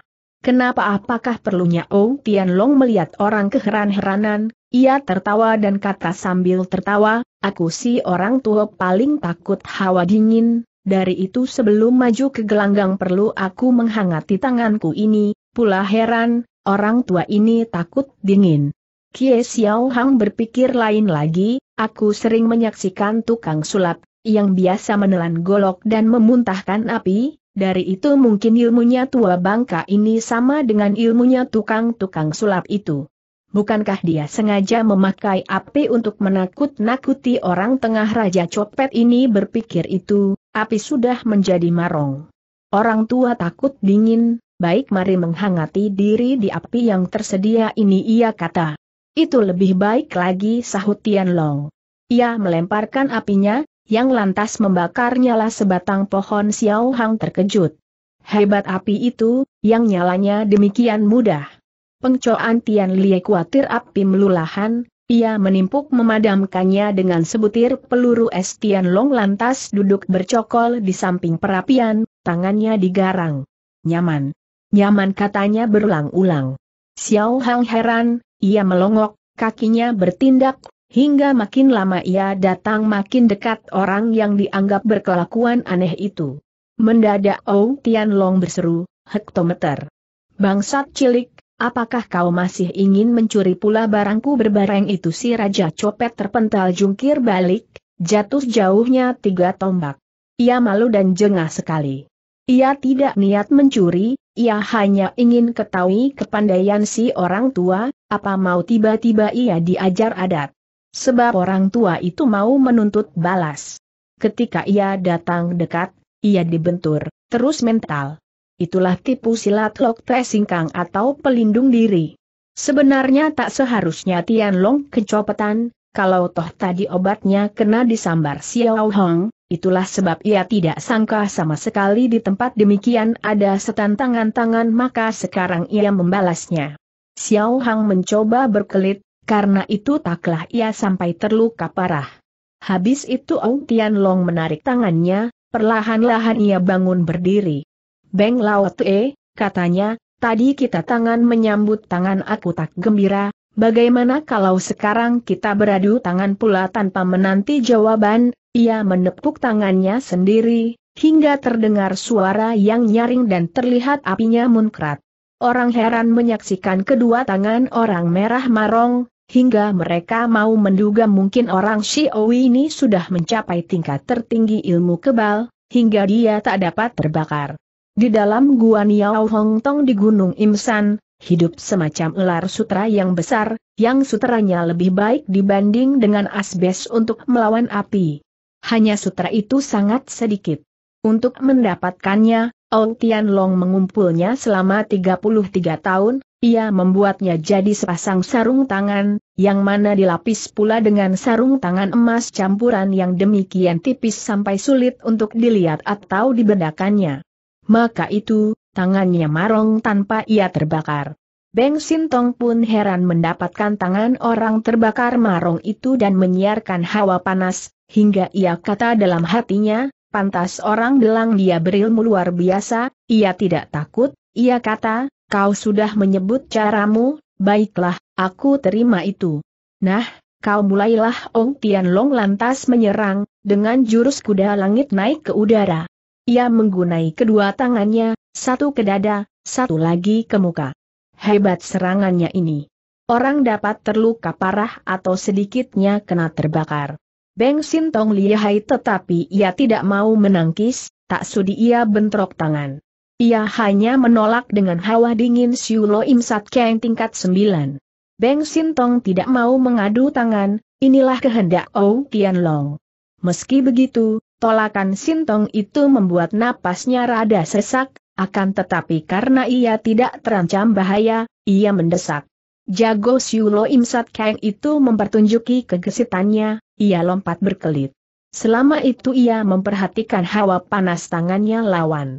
Ia merasakan bukan panasnya tenaga dalam, maka ia mau menduga orang memakai sarung tangan dari logam.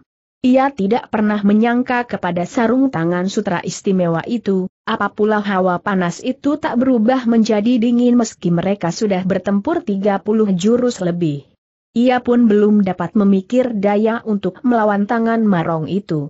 Hanya setelah sekian lama, ia pikir, kalau aku pakai Siulo Imsat Keng, mustahil tangannya tak bakal jadi dingin, biar misalnya satu jam kemudian, Sebenarnya Ong Tian Long telah memakai tenaga dalamnya, yaitu hawasan yang, untuk membuat sarung tangannya itu marong terus. Beng Sintong tidak puas. Ia mau merobohkan semua ketua partai di depannya itu, sekarang ia dilibat orang si ini. Mana dapat ia mencapai maksudnya ia berpikir keras. Habis itu, ia lantas main mundur. Ong Tian Long mendesak. Ketika ia lihat lawan terhuyung, ia girang sekali. Tiba-tiba ia menyerang keras dengan jurus Heng Into An Hong atau Mega melintang memutuskan puncak.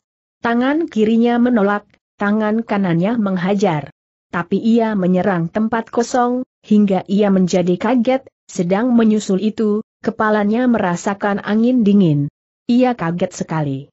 Beng Sintong menggunai akal, selagi limbong itu, ia menggunai tindakan Tian Lo Peo, ia melejit ke belakang lawan. Dari situ bukannya ia menyerang, ia hanya meniup telinga lawannya.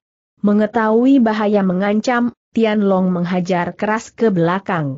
Sia-sia belaka serangannya itu, bahkan tangan bajunya kena terobek. Ia pun kaget disebabkan telinganya berbunyi dan matanya berkunang-kunang. Caranya Sintong menyerang ini meniru caranya pengcoan Tian Lie tadi ketika Nyonya Tong itu menghajar telinganya yang Cek Hu dengan peluru inti es syukurnya tenaga dalam Tian Long tangguh, ia tak dapat terobohkan, melainkan gerak-geriknya menjadi ayal. Dengan menggunai tindakan Tian Lo Pou dan cengkeraman Im Yang Jiao, Beng Sintong dapat mengalahkan Ou Tian Long akan tetapi ia tidak berbuat demikian, ia justru menggunai caranya ini. Inilah tak lain, maksudnya guna mempertontonkan kelihayannya. Ia cuma meniup telinga dan merobek ujung baju. Mari kita mengadu tangan katanya kemudian sambil tertawa. Ia menolak dengan sebelah tangannya. Ketika Tian Long menyambuti, tangan mereka beradu. Tangannya itu tidak terbakar atau terasakan nyeri, yang terbakar dan menyala ialah ujung bajunya lawan.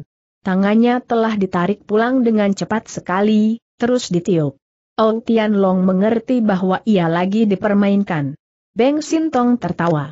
Bentrokan ini belum memuaskan kata dia, tertawanya lebar. Mari, mari lagi sekali Ong Tian Long menyambuti tantangan.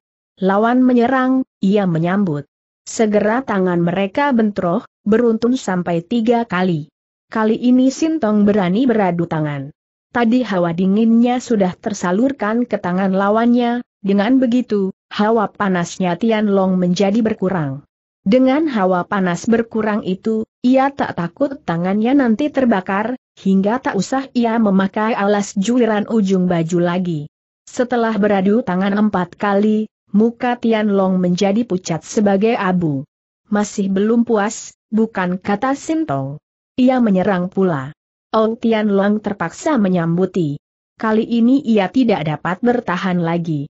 Dengan lantas ia muntah darah dan tubuhnya roboh.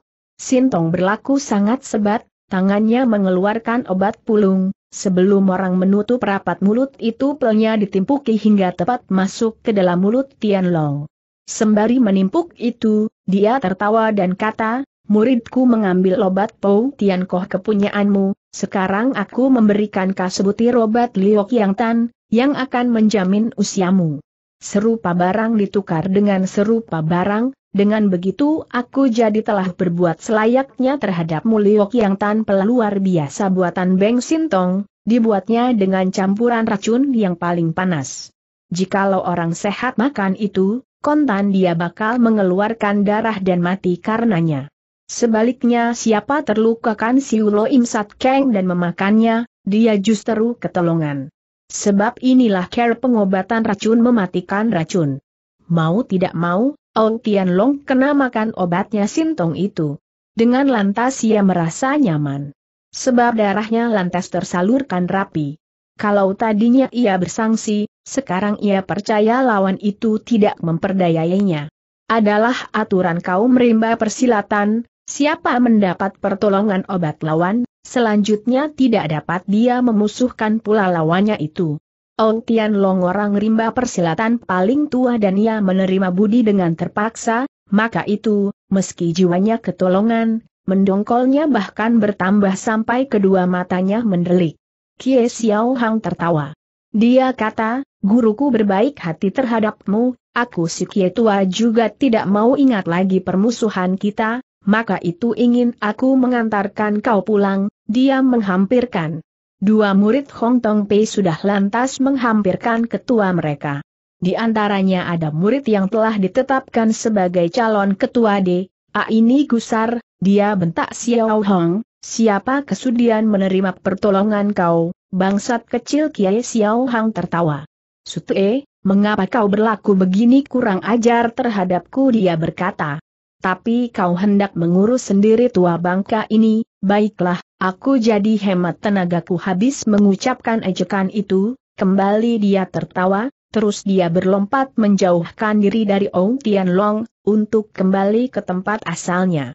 Dia mundur bukan tanpa hasil. Ketika dia maju mendekati jago tua itu, katanya untuk menolongi, kembali dia memperlihatkan kepandaiannya dia telah mengambil sarung tangannya Tian Long. Calon ketua Hong Tong Pei itu gusar sekali, malunya tak terkira. Ia sekarang tinggal mengandal pada Tong Sian Siang Jin atau Kim Kong Tai Su. Kalau mereka ini pun kalah, habis sudah pengharapannya. Menurut perjanjian, dia bakal terpaksa menjadi muridnya Beng Sintong. Beng Sintong dunak, ia kata tawar, Ciang Bunjin yang mana lagi yang hendak mengajukan diri memberi pengajaran kepada bangsat tua Shibeng, kau terlalu menghina orang membentak Sin Ing Long, wakil ketua Cheng Siapei. Ia lantas maju ke tengah gelanggang. Berbareng dengan ianya, ke situ pun telah maju seorang lain, ialah C. E. Tianloh, ketua Kielian Pei. Melihat majunya dua orang, Beng Sintong tertawa. Bagus katanya. Kamu maju berbareng, Chuan Tuan, kamu jadi menghemat aku Sin Ing Long ragu-ragu. Tetapi sebelum ia sempat mundur, Sin Tong sudah menutup jalan mundurnya itulah sebenarnya maju guna membalas sakit hati ketuanya, Han In Chiao, yang dilukakan Beng Sintong. Maka ia pikir, di depan musuh besar, tak dapat aku pikirkan soal memuka lagi. Sakit hati Suheng mesti dibalas, biarlah aku kepung dia berdua maka ia menghunus pedangnya dan terus menyerang. Ketua Kielian Pei itu, C. E Tianloh, sahabat karib dari Ou Tianlong. Dia menempati diri di antara kaum lurus dan kaum sesat, maka dia tak terlalu pikirkan segala tata hormat. Dia pun maju untuk sahabatnya itu.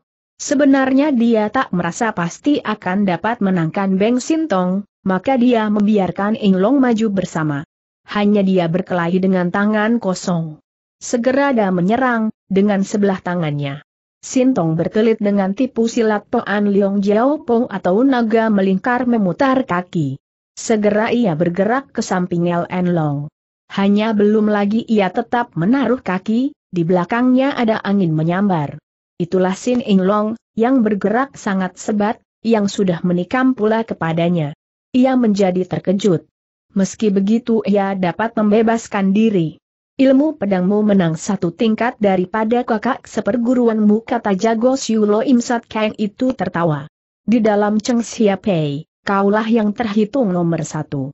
Sekarang sekalian saja kau menggunakan Tian Lo Chiang Sintong menantang ilmu silat Tian Lo Chiang, atau pukulan jala langit dari Cheng yang terkenal buat tiga macam ilmu silatnya, yaitu tindakan Tian Lo Pei-ou, ilmu pedang Tian Tun Kiam, dan pukulan Tian Lo Chiang itu. Cheng Siapei ada pecahan partai Ngobi YP di zaman kerajaan Song Selatan. Sampai di pertengahan Ahala Beng, di zamannya Kiao Pak Beng, ilmu silatnya itu, sudah mencapai kesempurnaan.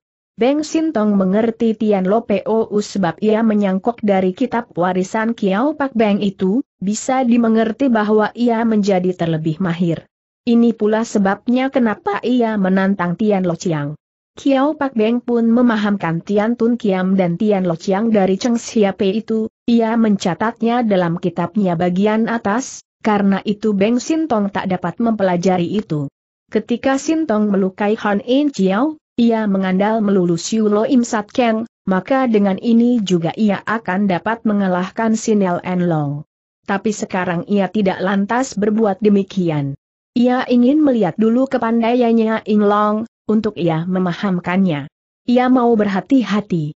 Tengah orang berkata-kata, Sin Ing Long sudah menyerang sampai tujuh kali, setiap serangannya aneh dan hebat, hingga pedangnya nampak berkilauan. Ia bergerak dengan sangat gesit.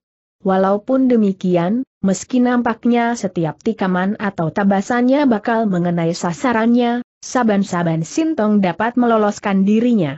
Itulah sebab Sintong yang lihai menggunai siasat huruf lolos. Ilmu ini mirip dengan Cian Ie sifat tiap dari Butong Pei, bahkan berlipat lebih lihai. Setelah jurus yang kedelapan, Sintong memancing Inlong mengeluarkan pukulan Tian Lo Chiang. Untuk penyerangannya itu, Inlong sampai berseru keras. Ketika tangan kirinya diluncurkan, tangan itu mempunyai tenaga. Menyedot, sampai tubuh Sintong tertarik sedikit. Sedang pedangnya membarengi menabas ke pundak. C. Etian Lok melihat ketikanya yang baik, dia berlompat ke belakang Sintong, menghajar punggung dengan tinju Kai Pai Chiu. Benarlah, Tian Loch yang bukan ternama kosong Sintong memuji sambil ia berkelit-berkelit dengan menjejak tanah, untuk berlompat lewat di atasan kepalanya orang si C E itu. Ia telah memutar tubuh dengan sangat sebat. C E Tian Loch menyerang pula, kali ini ke atas, membarengi selagi tubuh lawannya itu terapung tinggi. Bagus Sintong berseru. Sekarang aku ingin mencoba Kun Goan Hiekang milikmu dan dia menyerang. Dua pihak bergerak berbareng, maka itu bentroklah tangan mereka. Mulanya terdengar suara beradu keras, lalu disusul memberebetnya cita sobek. Mereka berdua lantas mental berpisahan. Kemudian ternyata, baju Tian Lok di bagian punggung robek, baju Sintong kutung tangannya. Kalau Sintong bersikap seperti biasa, Tian Lok bermuka merah padam, romannya seperti orang sinting. C. E. Tian Lok mempelajari Kun Goan Hiekang. Itulah semacam ilmu kebal, yang dapat bertahan dari serangan dahsyat. Sintong menghajar dengan memakai tenaga Siulo Im Sat Keng, ia tidak dapat melukai di luar, hanya dapat menggempur bagian dalam tubuh. Di samping ilmu kebal itu, Tian Lok juga pandai menangkap tangan orang, untuk dibikin kesel atau patah. Itulah Hun Kincok Kut Hoat, yang digunainya dalam pertempuran rapat. Sintong dapat meloloskan diri, cuma ujung tangan bajunya yang tersambar pecah. Sebenarnya, dikepung berdua itu, Beng Sintong berkelahi dengan membataskan diri. Sebisa-bisa ia tidak mau merapatkan diri. Baru sekarang ia menyerang mereka itu, Berbareng dengan dua-dua tangannya, tangan kiri menghajar C. E. Tianloh, tangan kanan terhadap Sin Ing Long. Ia pun menggunai tenaga Kim Kong Chiang. C. E. Tianloh telah dapat gempuran di dalam anggota tubuhnya, ia tidak berani bertahan. Sin Ing Long mencoba menangkis dengan Tian Lo Chiang, sedang pedangnya kena dibikin terpental. Segera setelah 20 jurus, Sintong menginsyafi sifatnya Tian Tun Kiam dan Tian Lo Chiang maka ia berkelahi terus tanpa mengandalkan Kim Kong Chiang, yang ia tukar dengan Yusin Pat Kua Chiang, untuk melayani kedua lawannya dengan kegesitan gerak-gerik. Sin Ing Long merasai tenaga orang mulai kendor, ia lantas perkeras desakan pedangnya. Beng Sintong tertawa dan berkata pada kedua lawannya, kita sudah bertempur hampir 30 jurus, inilah tak mudah, maka aku pikir sudah tiba waktunya kita beristirahat ya berkata begitu seraya menyentilkan jari tengahnya, atas mana hawa yang dingin meluncur ke Metu Inglong, hingga dia ini gelagapan, lantaran matanya terasa perih dan mengeluarkan air mata juga, hingga ia melihat Sintong seperti bayangan yang samar-samar tentu sekali ia menjadi panas hati, maka ia lantas menikam hebat dengan tikaman penghong anjit atau biang lala putih menutupi matahari. Itulah jurus yang lihai dari Tian Tun Kiam, yang ia gunai saking terpaksa, untuk mati bersama. Aduh demikian satu jeritan. Ketika Inlong telah melihat tegas, ia menjadi kaget dan menyesal. Korban itu bukannya Sintong si musuh hanya C. E. Tianloh, kawannya. Di saat sangat berbahaya itu, Beng Sintong telah mengasih lihat kepandaiannya. Dengan dua bocah jerijinya, ia menempe ujung pedang Long, untuk diputar arahnya ke samping, kepada Tian Lok ia sendiri berkelit. In Long menggunai tenaga sepenuhnya, matanya lagi seperti lamur, maka juga pedangnya meluncur terus. Ia percaya pedangnya itu menuju ke arah sasarannya. Tian Lok sebaliknya tak menyangka, Walaupun ia bertubuh kebal, ujung pedang toh melukai kulit perutnya lima enam dim panjang. Sintong menepuk-nepuk tangan. Kamulah orang sendiri melukakan orang sendiri katanya, tertawa. Jangan kamu sesalkan aku. Syukur itulah luka di luar. Kamu pihak Cheng Siapei mempunyai obat luka, jadi tak usahlah aku menghadiahkan obat pulasin Inglong gusar dan mendongkol tanpa berdaya, ia pun tak dapat berkelahi terlebih jauh, maka ia mempepayang Tianlok untuk diajak mundur, guna ditolongi. Ketika itu mulai maghrib, matahari merah seperti darah. Di pihak Chok Kim Jie, karena kekalahan berulang-ulang itu, orang masgul sekali Kang Lem, yang berada di sisi Tong Keng Tian, kata perlahan, kalau sekarang Kim Tai Hiap tidak keluar, kita celaka benar-benar. Keng Tian heran. Ia kata dalam hatinya, kalau orang tadi yang memberi petunjuk kepada penggawa benar Kim Siei, sekarang sudah tiba saatnya buat ia memperlihatkan diri. Benar-benarkah ia telah mati Kim Kong Taisu sementara itu berbangkit, dengan perlahan ia berkata, Beng Chu, Lo Olap tadi telah menerima hadiahmu sebelah tangan, sekarang mari Lo Olap belajar kenal lebih jauh dengan kepandaianmu yang istimewa cepat luar biasa, pendeta ini sudah sampai di tengah gelanggang. Kim Kong Taisu bersama Tong Sian Siang Jin menjadi bintang-bintang rimba persilatan dan mereka pun, ternama berbareng, sudah beberapa puluh tahun, belum pernah mereka bertarung dengan siapa juga, maka itu, munculnya ia sekarang adalah luar biasa. Semua mata lantas diarahkan kepadanya. Suasana lantas menjadi bertambah tegang sendirinya. Kalau umpama kata Kim Kong kalah, orang menyangsikan Tongsian. Maka ini dapat diartikan pertarungan yang memutuskan, mati atau hidup. Taisu menjadi tertua rimba persilatan, sekarang Taisu sudi memberi pengajaran padaku, aku merasa sangat beruntung, Sintong bilang.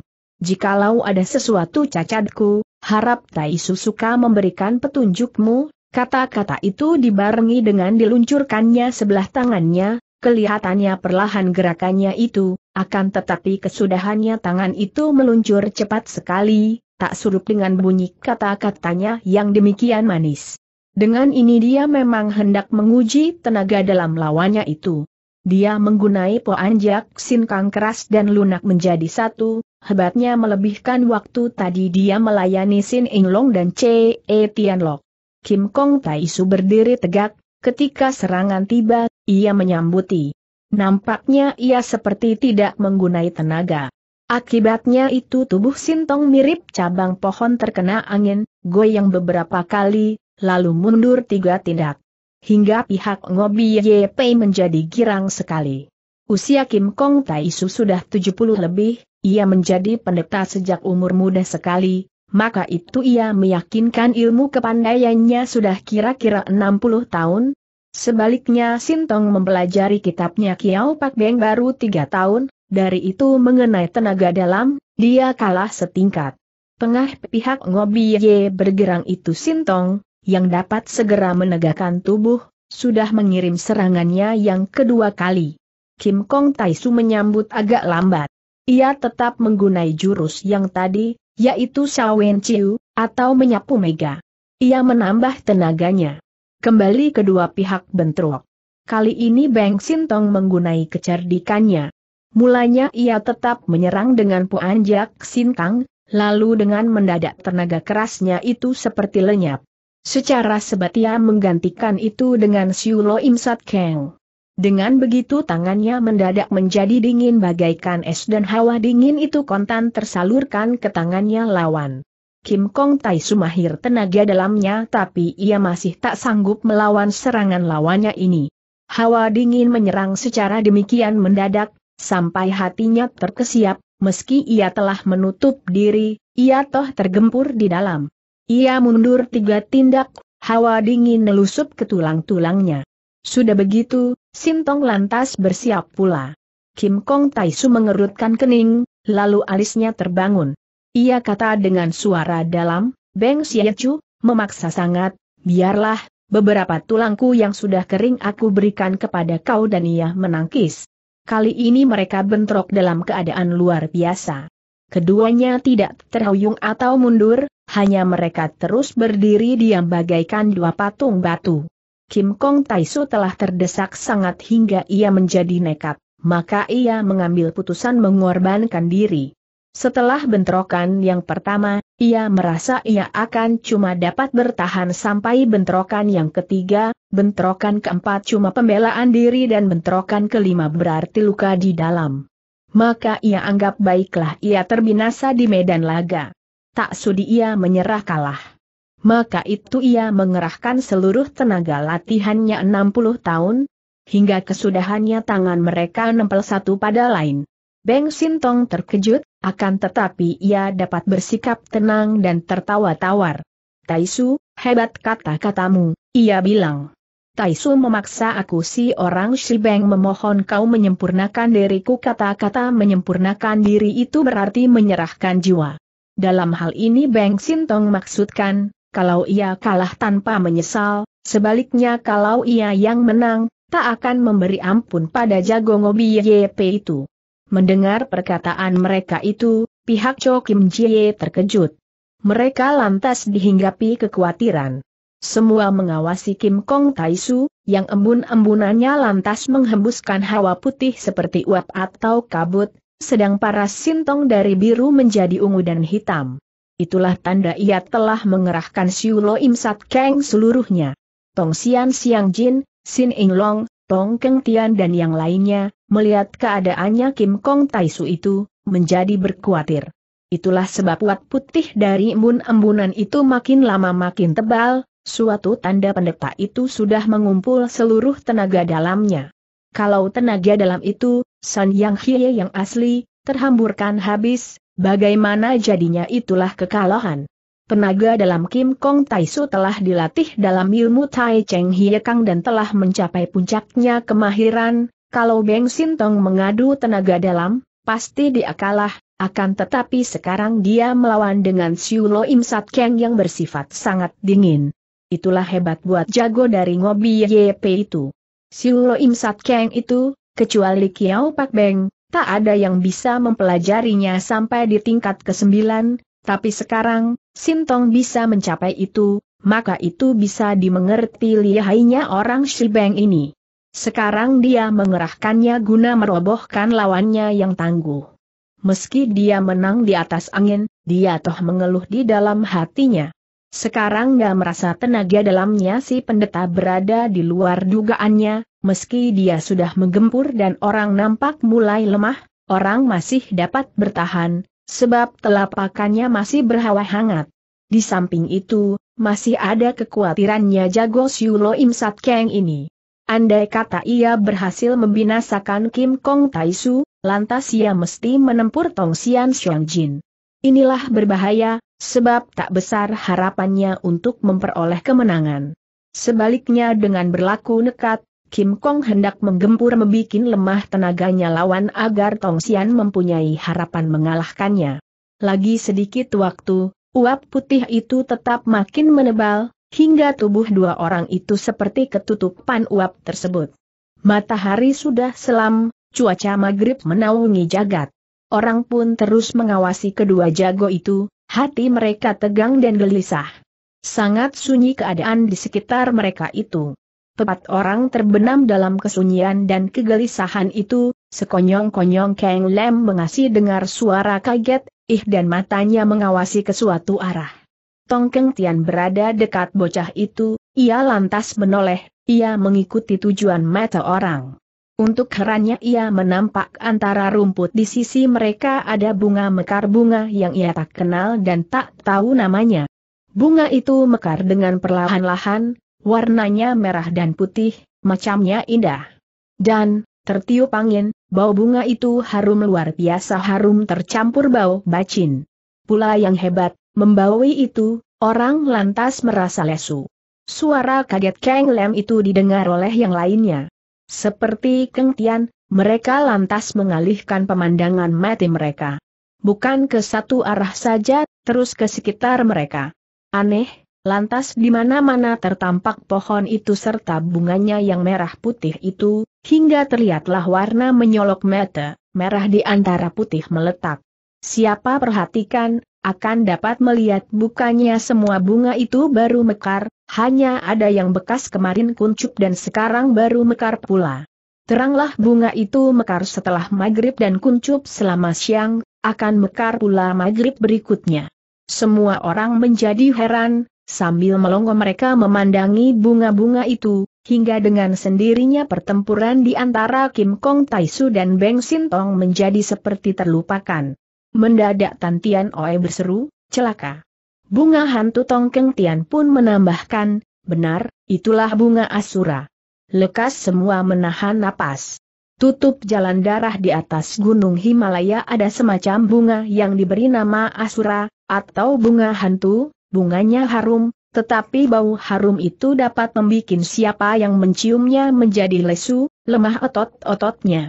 Bunga itu katanya pertama kali diketemukan oleh seorang pendeta pengembara yang lagi menyiksa diri. Asura bahasa Sanskerta dan artinya hantu, bunga itu dinamakan demikian karena khasiatnya yang luar biasa itu. Ketika dulu Hari Guru Negara dari Nepal menculik putranya Jenderal Nie Keng Giao dari dalam penjara, dia menggunai bunga itu membuat penjaga penjara tak sadarkan diri. Dan pada empat tahun yang lalu, di musim semi, ketika Sampihi menyelundup masuk ke rumahnya Tantian Oe, dia pernah pakai bunga itu membuat Ye Upeng menjadi tak ingat dirinya hingga leluasa saja dia menikamkan panah beracun di dada nyonya Tantian Oe itu. Maka itu sekarang Tian Oh E dan Keng Tian lantas mengenali bunga itu. Hanya mereka sangat tidak mengerti, kenapa bunga itu kedapatan di Gunung Binsan ini. Gunung Himalaya ialah gunung paling dingin, itulah tempat paling tepat untuk tumbuhnya pohon asura, maka heran pohon ini dapat tumbuh di Binsan dan justru di musim semi bulan tiga. Di bulan ini, salju di Binsan sudah lumer. Yang aneh pula, pohon kedapatan di mana-mana di sekitar gelanggang pertempuran itu. Tian Oh E dan Keng Tian menjadi bingung. Dalam keadaan seperti itu, sulit untuk berpikir lama. Juga Keng Tian lantas merasakan asabatnya terganggu. Karena ia yang tangguh tenaga dalamnya masih terserang harum bunga itu, bisa dimengerti kalau banyak yang lainnya tak sanggup lagi. Pastilah ini perbuatannya Beng Sintong pikir orang Sitong itu. Tapi ketika ia memandang ke arah rombongannya Sintong, ia mendapatkan mereka itu juga terserang bau bunga hantu itu, mereka seperti orang sudah sinting karena arak. Ia jadi berpikir pula, mungkinkah di sini ada pihak ketiga kalau benar, pihak itu hebat sekali sebab dia dapat membuat bunga asurat tumbuh di sini dan mekar di saat seperti ini.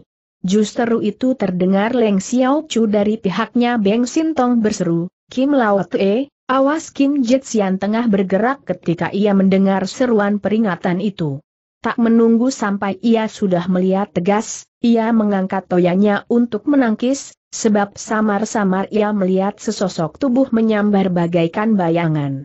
Setelah itu, ia menjadi kaget hingga ia berteriak, karena tangannya sakit, sebab telapakannya seperti terkena paku. Karena nyerinya itu, toyanya terlepas dan terlempar. Sebabnya itu ialah ada orang berlompat ke arahnya, orang itu memakai sepatu yang ada pakunya, sebelum ia dapat menghajar mengenai sasarannya, lebih dulu ia sudah kena terjejak. Tongkeng Tian heran, ia kata dalam hatinya, dari mana datangnya wanita ini hebat ilmu ringan tubuhnya, dia tak ada di bawahnya bibiku, di pihak Beng Sintong, juga Kiai Xiao Hang turun tangan, dia berlompat menguber sambil menyerang dengan timpukan tiga batang paku song bunteng. Jitu timpukannya itu, tepat mengenai sasarannya, yaitu punggung wanita, akan tetapi setelah menerbitkan suara nyaring, ketiga batang paku itu mental balik, nancap di batang pohon. Sia-sia belaka percobaan murid Sintong ini, sudah gagal serangannya, dia pun tak sanggup mendekati.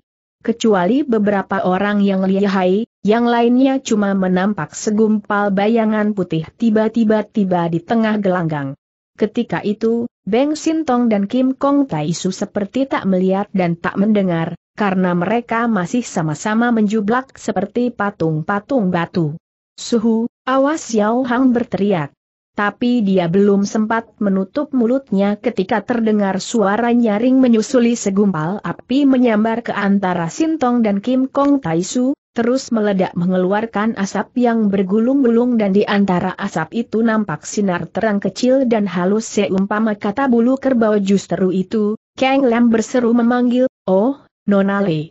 Mana Kim Tai Hiap memang benar bayangan itu Le Seng Lam, yang datang ke situ untuk melakukan pembalasan terhadap Beng Sintong. Sedang apinya yang meledak itu ialah senjata rahasia yang lihai dari keluarga Le, yaitu peluru api berjarum emas yang beracun, Pokbu Kim Ian Huayam Tan. Tiga tahun lamanya Seng Lem bersama Kim Xie berdiam di dalam pulau kosong di mana mereka mendapat kesempatan berlatih terus sambil memahamkan bunyinya kitab warisannya Kiao Pak Beng, meski itu cuma kitab bagian atas, toh ia memperoleh kemajuan luar biasa, hingga di waktu menyerang dengan peluru apinya yang berjarum itu, ia dapat membantu dengan tenaga dalamnya. Tengah asap memencar itu, terdengar seruannya Beng Sintong, dan ketika asap itu buyar, terlihat Sintong bersama Kim Kong Taisu terpisah sendirinya, sama-sama mereka mundur jauhnya kira-kira tujuh tombak, Sintong sendiri tidak kurang suatu apa, sedang Kim Kong Taisu, pada jubahnya nancap banyak jarum buah aciam yang bersinar putih perak. Celaka, celaka Kang Lem berteriak-teriak. Dia bukannya manusia baik-baik. Dia bukan membantui kita. Dia, dia, dia, belum berhenti suaranya pemuda ini, sudah terlihat Kiai Xiao Hang berlompat ke belakang Nonale, yang terus ditikam dengan pedangnya. Telak tikaman itu, ujung pedang menggenai punggung Nona hingga berbunyi nyaring, tapi pedang itu tak nancap hanya mental balik dan ujungnya bengkok.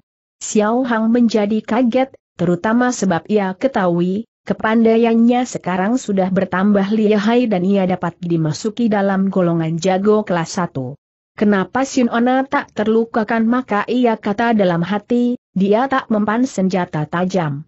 Bukankah dia menjadi jauh terlebih lihai daripada guruku ia heran sebab ia tidak tahu nona itu memakai tameng yang dibuat dari kotak kemala di dada dan punggungnya, tameng peranti menyimpan kitab pusakanya Kiao Pak Beng.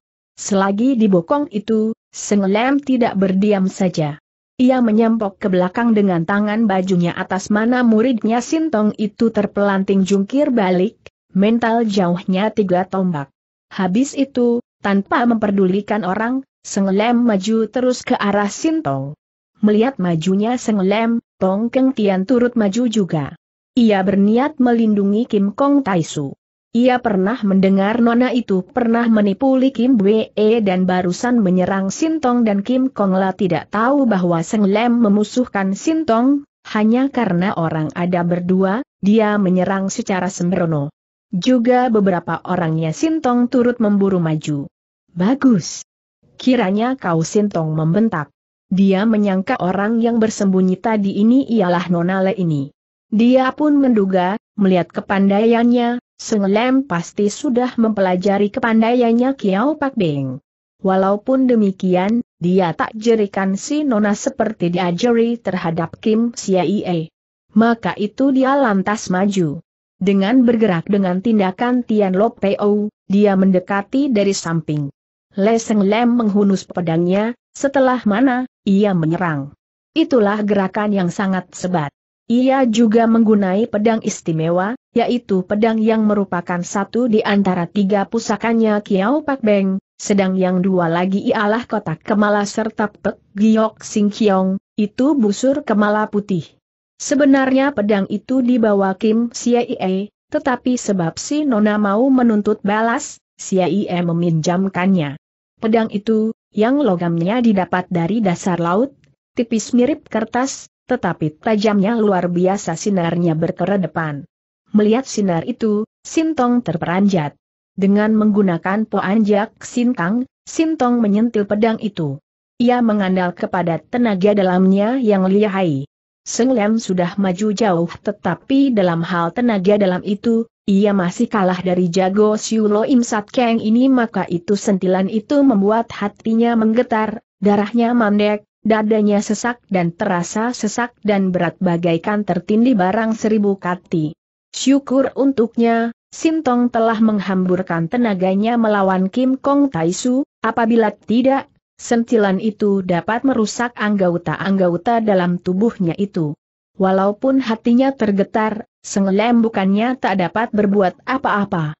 Ujung pedangnya mental terus menyambar, seperti juga biang lala, kesudahan yang mana membuat kumis panjang dari Sintong kena terpapas kutung hingga tinggal separuhnya. Juga tengah ia menggunai poanjak Sintang, Sintong pun kena menyedot harumnya bunga asura, ia tak luput dari kehebatan bunga itu, ia merasa napasnya sesak. Karenanya lekas-lekas ia menyalurkan napasnya, untuk mengeluarkan hawa yang beracun itu. Sengelem menggunai kesempatan Sintong meluruskan pernapasannya, ia berlompat ke dekat Kim Kong Taisou. Melihat orang mendekati ketua Ngobi Ye Pei, Tong Keng Tian lantas menyerang dengan Tian San Sinbong. Untuk itu ia tak bersangsi sejenak juga maka senjata rahasianya itu meluncur dengan menerbitkan suara yang mengaung memecahkan kesunyian. Leseng Lem mendengar dan melihat senjata itu, sambil tertawa dingin ia menyempok dengan pedangnya, hingga Sinbong terkutung menjadi dua potong, tak peduli senjata itu terbuat dari baja pilihan. Keng Tian terkejut. Justru itu, Seng sudah berlompat ke depannya. Sin Ona tertawa dingin dan berkata, Aku justru hendak mencoba ilmu pedang Tian Sanpe dari kau dan dia segera menyerang. Tong Keng Tian menangkis tanpa ayala menggunai jurus Xianiao Wasai. Oleh karena si Nona tidak menarik pulang pedangnya, kedua senjata menjadi beradu, suaranya nyaring, lelatu apinya munkrat. Ketika Keng Tian memeriksa pedangnya, ia terkejut. Nyata sekali ketangguhan pedang lawan. Pedangnya, Yuliong Kiam, sebuah pedang mustika, gompal sedikit hingga ia menjadi melengak. Tengah orang tercengang itu, Seng Lem sudah berlompat maju dengan kesehatannya yang istimewa, selagi dengan tangan kanan ia mengancam dengan pedangnya, tangan kirinya menyambar. Kembali Keng Tian terkejut. Sinar pedang lawan berkedip di depan matanya, ia lantas mengangkat pedangnya, guna menangkis. Justru ia mengangkat itu, justru tangan kirinya si Nona tiba. Tidak ampun lagi, Yuliong Kiam kena dirampas. Sengelem menggunai ilmu Hian Im Chiakang. Selagi tangannya itu diluncurkan, ia menyentil. Hawa sentilan itu merupakan hawa yang dingin, yang mirip dengan hawa dingin Siulo Set Kang tingkat kelima. Mau atau tidak, Keng Tian terserang hawa dingin itu, sampai ia mesti memejamkan matanya walaupun hanya sejenak. Celakanya, mereka berdiri terlalu dekat satu dengan lain. Selagi orang meram itu, Sengelem merampas pedang lawan, kemudian dengan sama sehatnya, ia lompat ke samping jago muda dari Tian San itu, guna merampas sarung pedangnya. Kim Kong Taisu menyaksikan tanpa sempat berbuat apa-apa. Apakah kau turunan keluarga Le? Ia tanya, si Nona. Ia menanya sambil mementang matanya dan menggibriki jubahnya. Dengan begitu ia membuat terlepas mental semua jarum yang tadi nancap di jubahnya itu. Tidak ada sebatang jarum juga yang lukai tubuhnya. Atas pertanyaan pendeta itu, Le Seng Lam menjawab, Taisu telah mengenali asal-usulku, tentulah Taisu suka memaafkan kelancanganku barusan. Ini ada sebutir obat, silahkan Taisu makan. Obat ini dapat menyingkirkan keracunan bunga hantu. Aku telah mengganggu, dengan obat ini aku menebus kesalahanku, Sengelem berkata begitu tanpa mengangsurkan obatnya, hanya ia menyentil itu ke arah si pendeta. Baiklah, aku percaya kau menyahut Kim Kong Taisu, yang menyambuti obat itu, bahkan ia segera masuki ke dalam mulutnya, untuk dimamah terus ditelan.